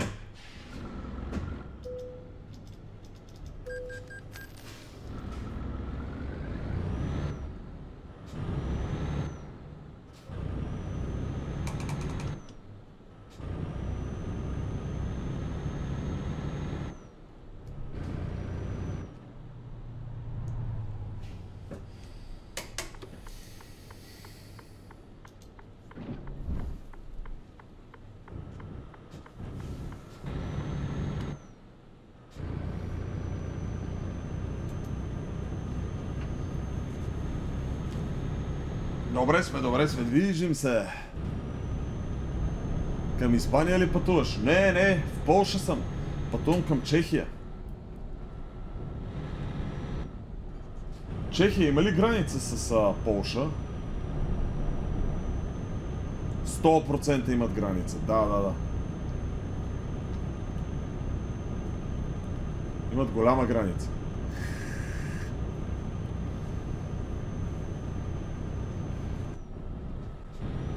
Много ми е... Да, Судетската област, точно това се замислих. Много ми е трудно да си, да си представя къде точно и как се намират винаги Чехия, Словакия, Австрия и Унгария. Сега, а, Австрия съм окей, обаче Чехия, Словакия, Унгария и къде точно минава украинската граница, източната полска граница, белоруската граница са ми много тегави да си ги визуализирам на карта. Гаджето замина да учи в Италия и сега се чува дали ще е взаимно добро да приключим отношенията си. Брат, заеби гаджето в Италия. Трескай питки и това е. Трескай, те, трескай яко питки и това е. И не ще трес, трескат наденици, няма да се притесняваш. Не си го причинявай. Не е живот това.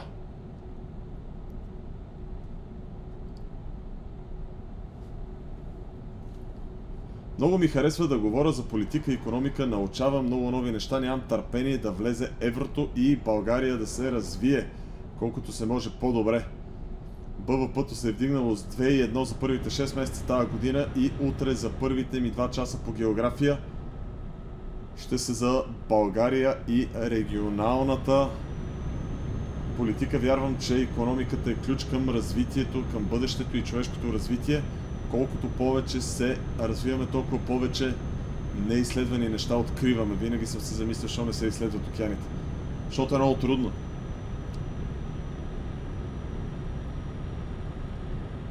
Благодаря за препоръката, началник камионите, мачкай камионите и всичко най. За нищо, батко. Трескай питки да гърми яко. Трескай, трескай, докато си млад. Знаеш песента как върви.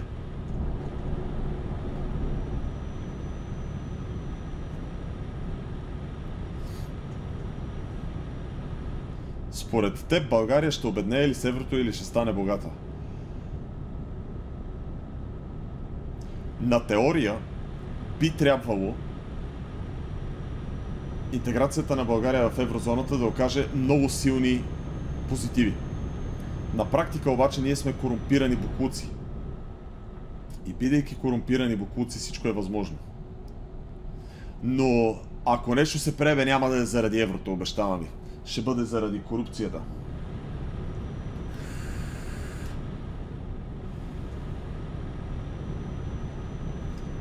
Мале, 2000 км, тъмън погледнах, чу-чу, 2000 км. Би трябвало да ми остават, значи още малко. Нямаме ли табела за Вроцлав някъде, бе? Или аз няма да мина покрай Вроцлав?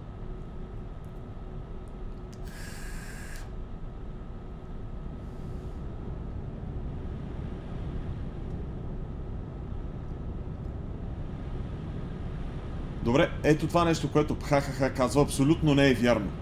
Защото днеска, преди малко, преди камионите, направихме много подробен економически и фискален анализ между България и Румъния. И заключението беше, че румънците имат по-висок БВП от България. Тук съм с предим...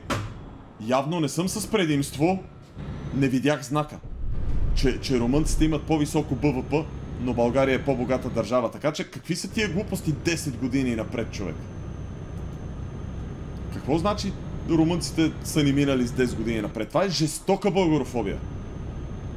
Колкото и да ни е държавата, колкото и да ни е корумпирана държавата, държавата ни не заслужава да бъде така несправедливо оплювана от нас българите. Мисля, това не е адекватно. Това е българофобия, това е лошо нещо.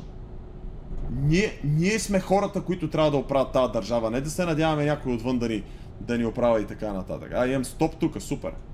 Знаете ли какво мисля за този стоп? Бат се мисля Валхала за този стоп. Хе-хе-хе, само, само един път ме удариха. И нема демидж.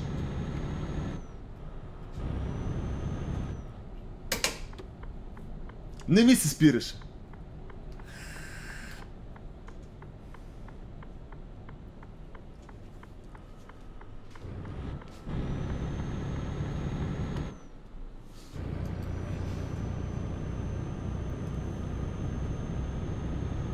Румънците са по-богати циганета и най-малкото са се осъзнали и си ползват насрания туризъм. Ето това пак е мега селско изказване.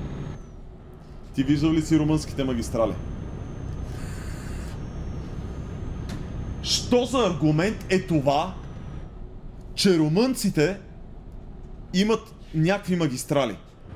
Ти виждал ли си ръста на минималната работна заплата и на минималната пенсия последните 4 години? Я, я аз да те питам нещо. Ти возил ли си се през а, тунела Ба... Ковачевица. През тунел Ковачевица. И ръста на инфлацията виждам. Значи си сляп, защото България в момента има най-низката инфлация в еврозоната. Смисъл, не мога да разбера верно за каква инфлация говорим. Тая година. Тази година инфлация няма. Инфлацията е овладяна.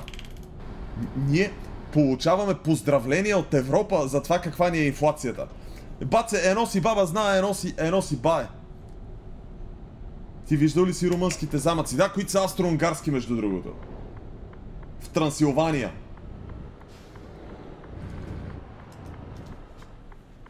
Значи, наистина, България е много шит държава. Обаче, когато някой плюе несправедливо държавата, е много грозно. Когато някой повтаря наизуст какво е слушал по телевизора и какво е чел в NetInfo, е много грозно.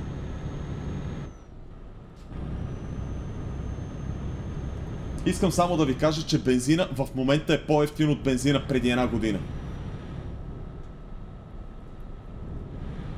Последните три години говорим, ма тя не е инфлация само в България, ха-ха-ха.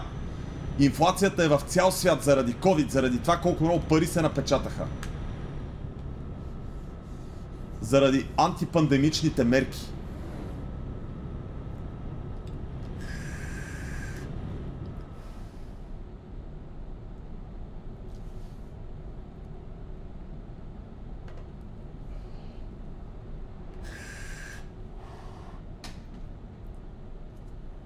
Боже, не Ковачевица, тунел Железница. Точно, точно за него говорех. Забрави го как е. И, и, иначе редовно карам през тунел Железница и се пръскам.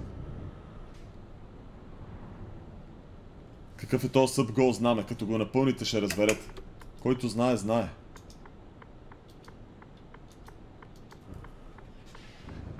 Познан. Е, Мега колегиално колега на майка ти. Скапаната в мирисана. Бла. Какъв беше този звук?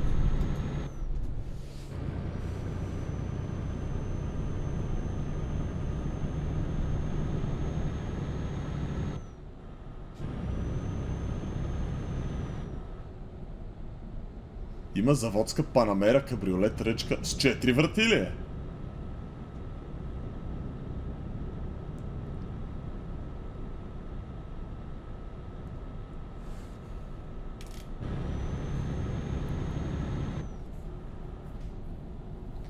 Само хора, които не са били в Румъния, могат да кажат, че е по-добре от България. Ба, а, аз съм живял в Румъния!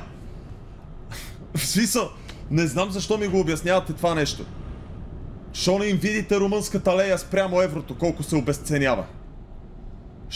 Що не, шо не погледнете румънците как умират да влязат в еврозоната? Защото нямат валутен борт. И за последните 10 години валутата им е 25% надолу.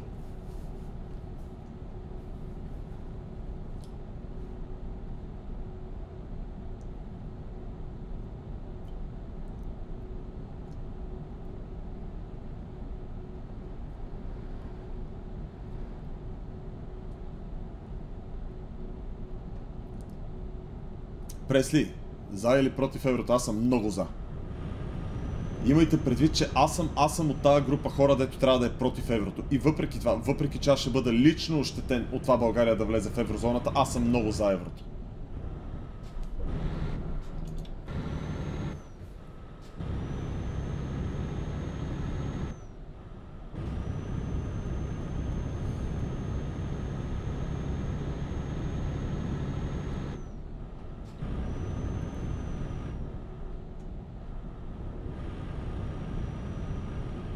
Защо ще бъдеш ощетен заради лихвите по ипотечните кредити, естествено?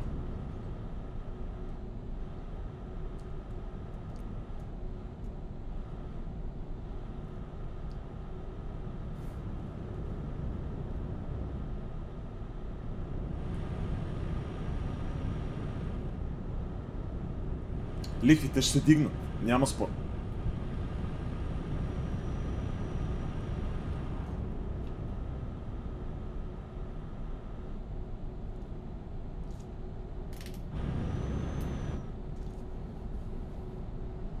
Пресли, еврото ще ни прецака, повярвай ми. Вико Ноуб, Вико Ноуб, вярвам ти брат, ти си един истински доказан титан на економиката, един истински професионален финансист. Вярвам ти брат. Game Recognize Game Копала.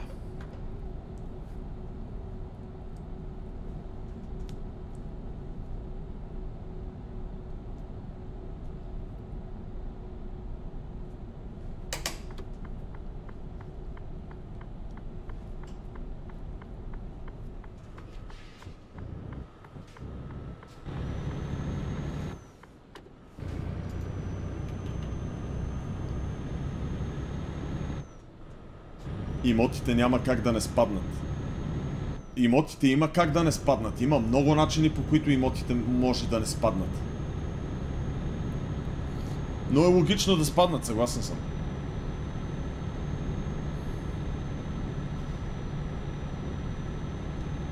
Не, след влизането ни в еврозоната най-вероятно ще има някакъв поне временен спад. Иначе в дългосрочен план имотите в България ще се качват мега много. Имотите в България в момента са чудесна инвестиция. Само човек, който не следи имотния пазар, европейския имотен пазар, може да каже, че имотите в България няма да се дигат. Дългосрочно. Имотите ще паднат с по 50-60% дано. Имотите ще паднат с 5 до 7% максимум.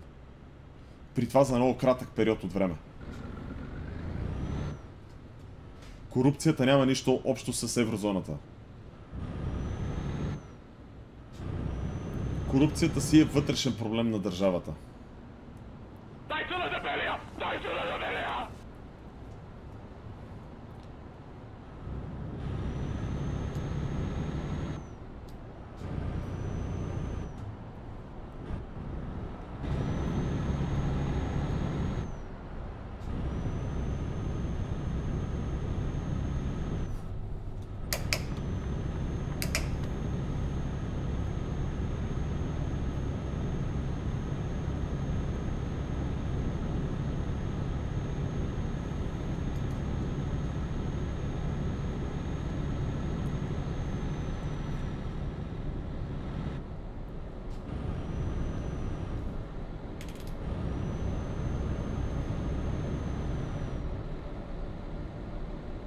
Айде, клякай, ко, пред тебе съм, пред тебе съм.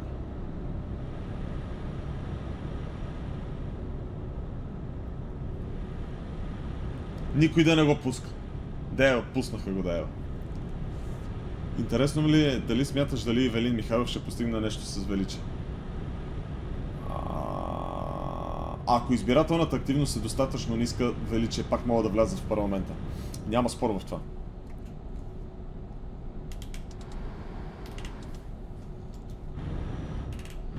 Но в парламента мога да ги вкара само ниска избирателна активност.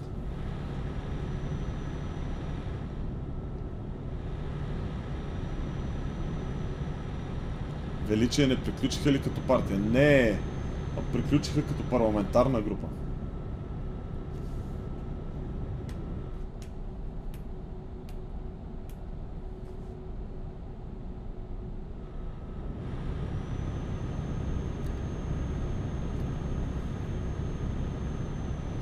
Трябва да спя.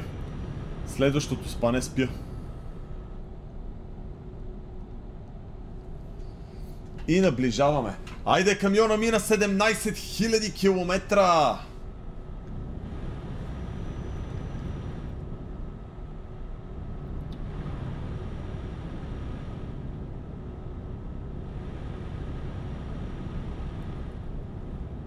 Това е тази марка лева в Desktop BG. Не мога така на изуз да ти кажа.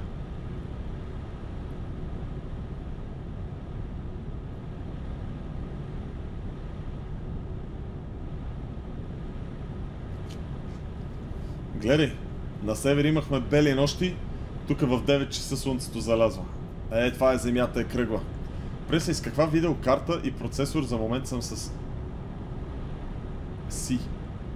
А, i9 13900K на 5.8 и 4090. И двете клокнати на звяр.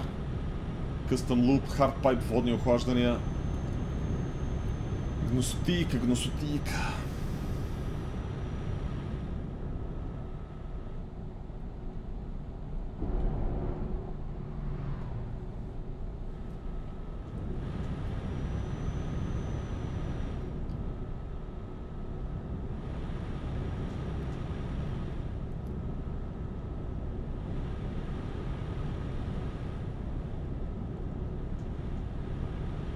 Чат.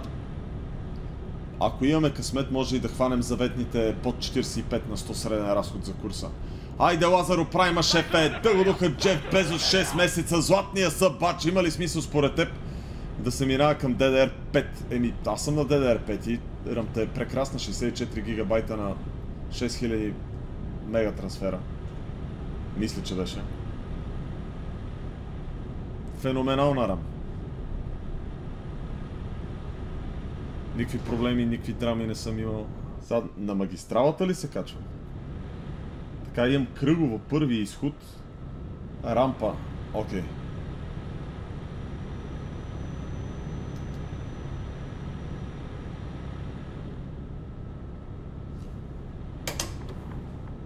Е, така беше Благоев град преди железница.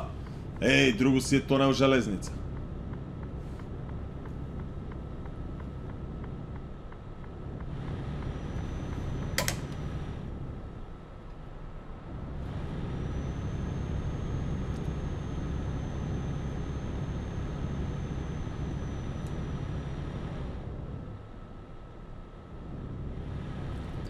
Вроцлав! Това е Вроцлав! Да!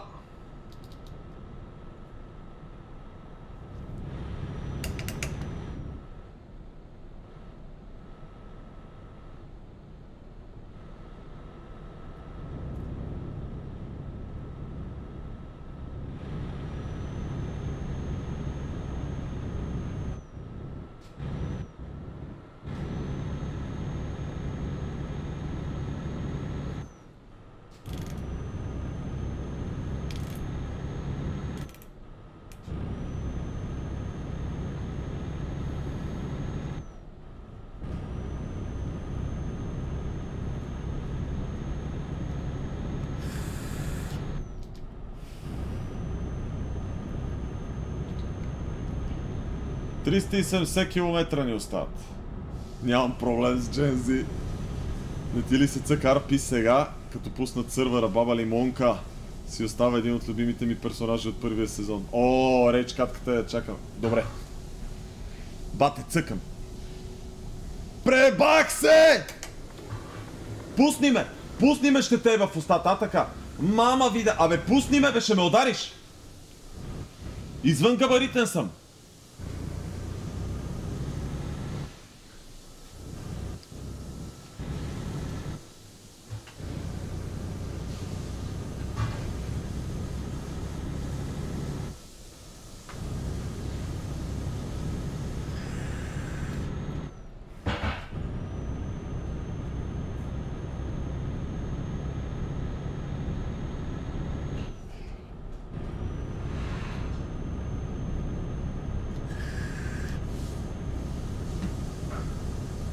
Е, ще теба в п***та, ще теба, бе!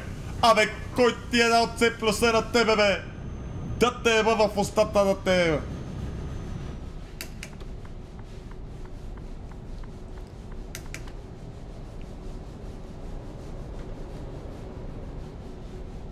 Айде да се чукаш! Къде не ме пусна, мама ти да еба!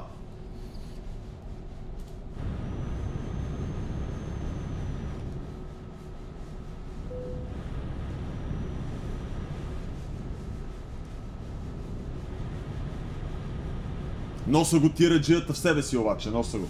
Нема спор. Мога да работя тази професия.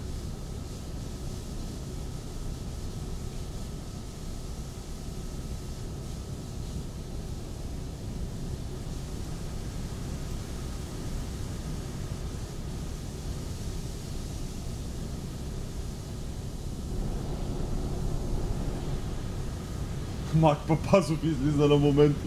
Еми то с тия тежки теми за геополитика, къде ми подхванахте още като бях на Скандинавския полуостров. Извинявам се, ма как да не излезе? Прекалявате и вие.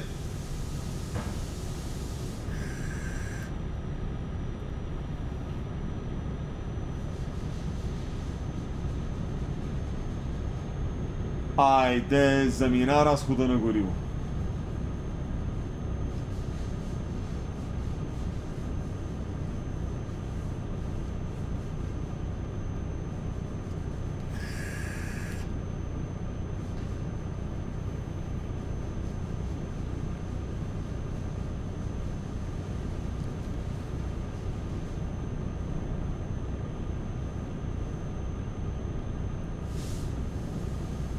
Абе, 50 Янко, ти виждал ли си извън габаритен товар?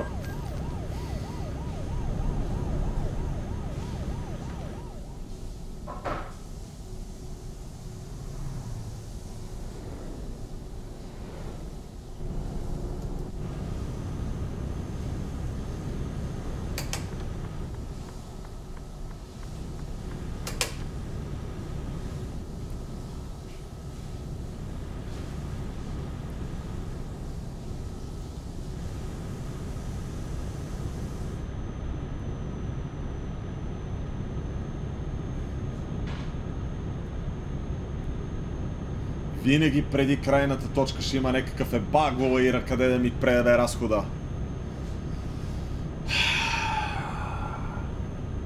Почва да ми свършва надеждата, че ще мога да закарам товара на под 45 на 100.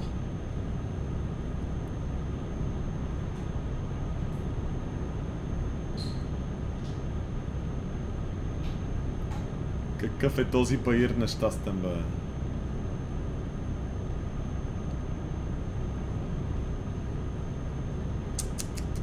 Абе, верно бе, какъв е този баир бе, човек? А нема ли да фанам една блага инерцийка? Надоле.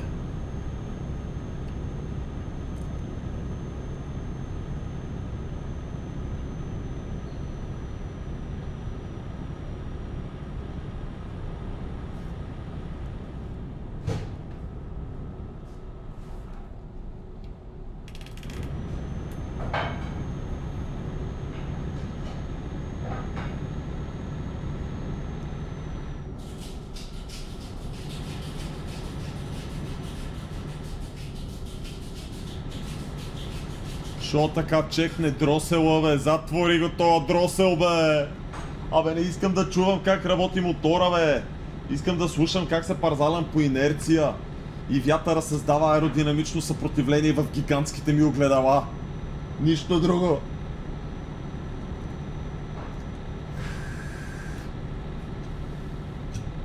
Юротрък 2 ли е това? Не, брат, това е Юротрък 17 000. Оп, това е инерцийка.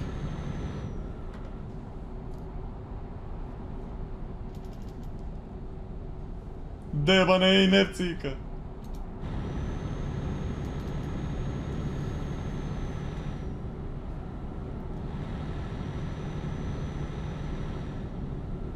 Бах ти якия мост. Бакърен мост. Много майнкрафтски мост.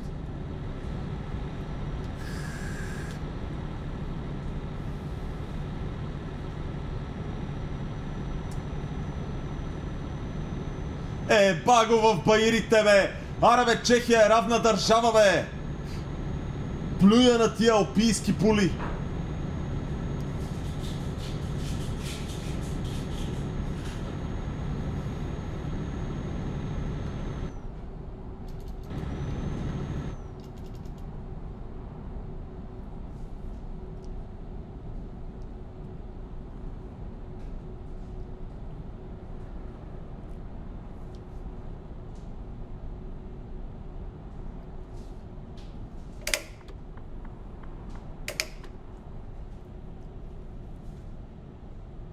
Прага!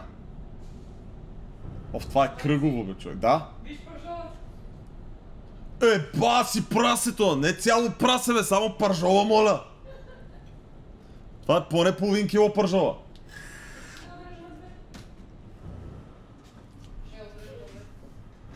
Делния на две, разбира се, да.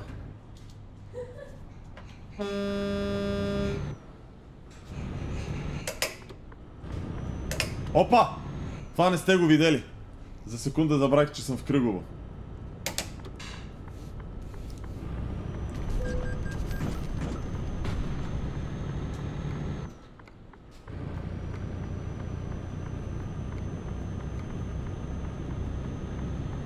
И ме глобиха за тази катастрофа.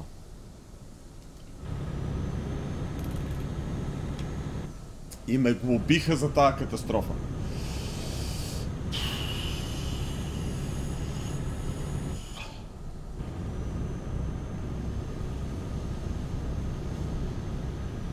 Типичен Мустанг. Да!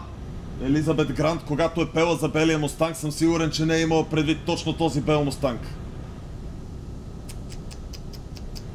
Но ни помля, отне ни предимството в това кръгово движение.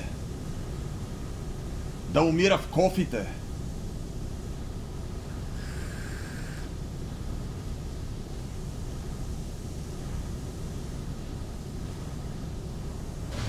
Юротрък 2 ли е? Да бе човек! Пише го под стрима.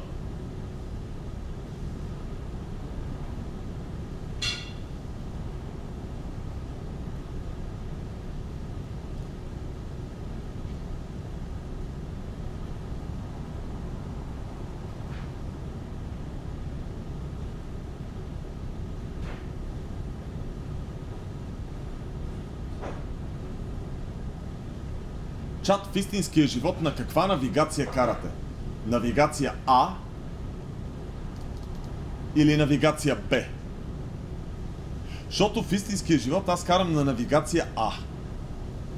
И тук тази навигация е мега шибана и ми е много трудно да карам по другата. Waze. Не бе, имам предвид дали а, винаги държите ам, абсолютните посоки винаги север нагоре или сте като third person си следвате стрелкичката?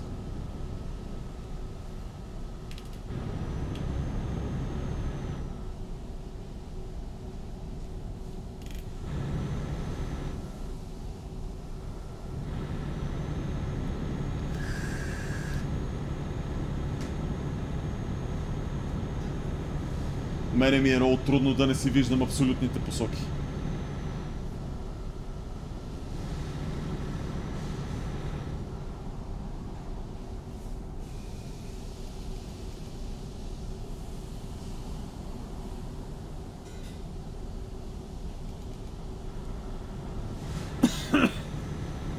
Подимни сигнали. следвам стрелката. Аз предпочитам да карам все така навигация. Компас и карта. Капитан Компас. Аз карам само напред, пък където отида там. Един път какъв социален експеримент си направих с Йоана. Накарах я да кара на където иска. А, не. А, как, как беше? Накарах я на всеки светофар да ми каже на къде да завия. Като трябваше да закараме колата на механика. И я газлайтнах да ми казва винаги посоката, която искам. И стигнахме до механика по, по път, който тя не познаваше и беше майндфъкната като стигнахме до механика. Тя сама избра да отидем там. Тоест тя сама си мислеше, че избра как да стигнем до там. Само по начина по който и подавах посоките. Тук сега надясно, или направо, или наляво. И знам, че ще ми каже наляво. Като я питам по този начин. И стигнахме до механика. И съм сигурен, че вие всички по начина по който го казах сте си помислили наляво. Менталист съм, чат, менталист съм.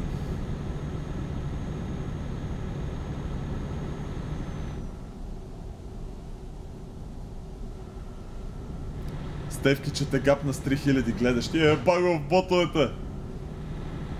Аз си помислих за дясно, ама добре. Е, много наясно. Нали сега като тука... О, ще трябва да правим мангасария, чат. Тук трябваше да вляза в детелината. Не видях, че е такава детелина.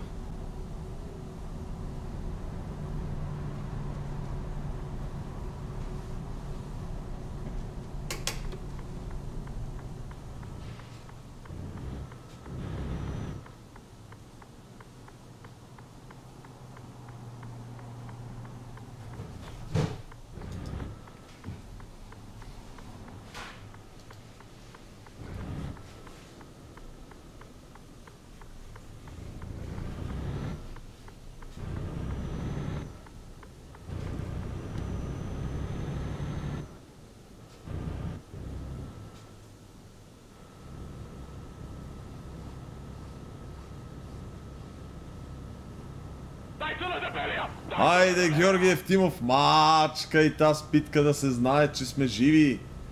Събовете в сака и питката в душа.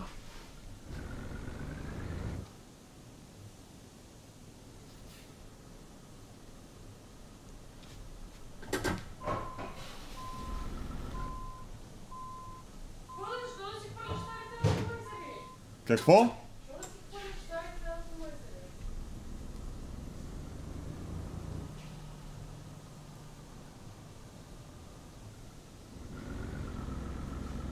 Не. Няма да стане.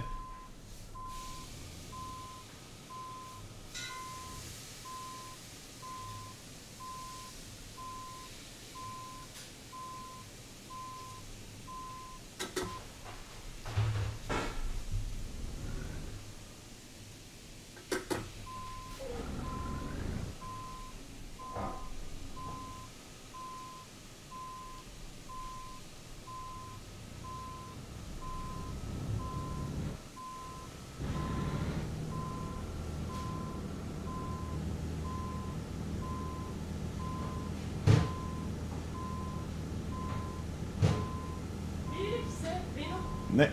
Вино? Не. Защо ви не пиеш без мен? В смисъл, кога съм пил без тебе?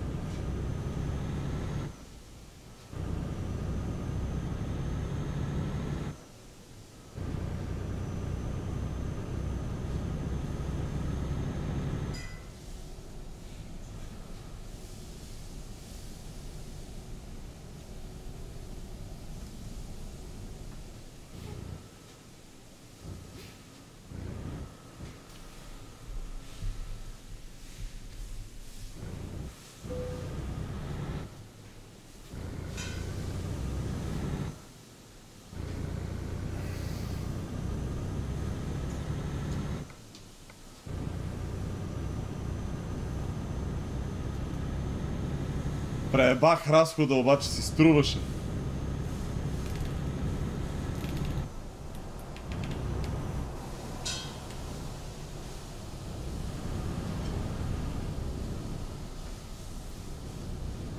Мале Пресли тук караше като еврит жена шофьор. Еми, няма да върта я. Ама видели как бутах ремаркето назад? И така, моля буташ с 30 км в час назад на четвърта задна ремаркето, а?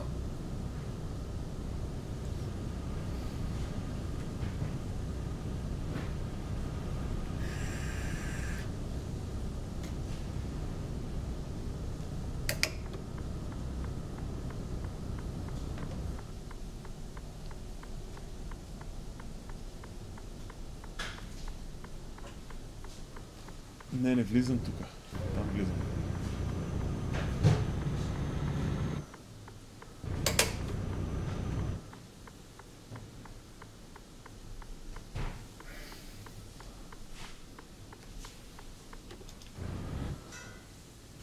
Да. Това е интересно.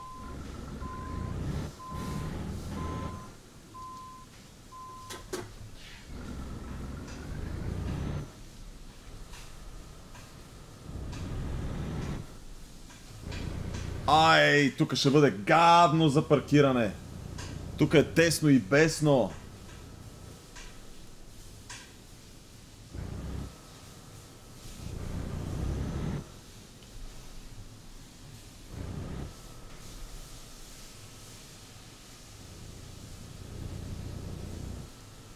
Е, сега започва финалния ни тест.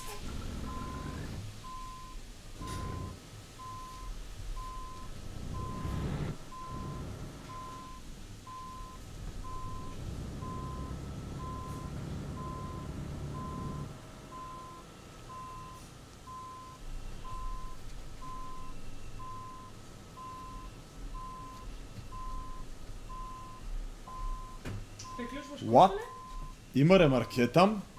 Чакай малко. Мислех, че това е моето място. Седи малко.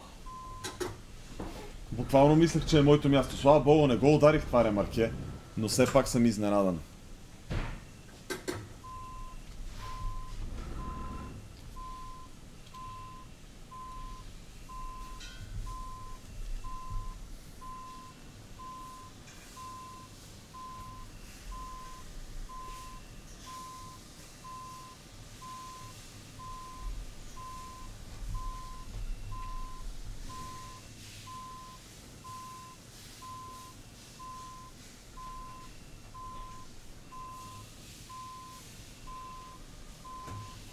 Така, и сега го паркираме вече.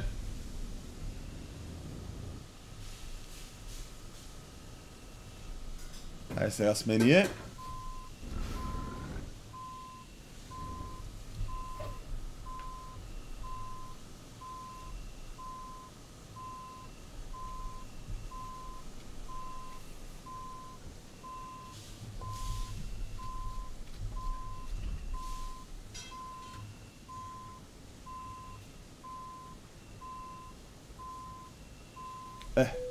Ние сме, аз ви казах, бе.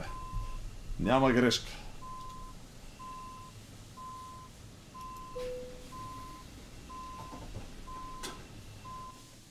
Отлично!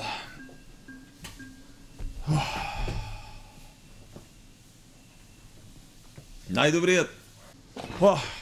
Добро каране, чат! Добро каране! Караме само големи курсове. Дай, дай, дай Дайте на тебе я Дай, дай, дай Дайте на тебе я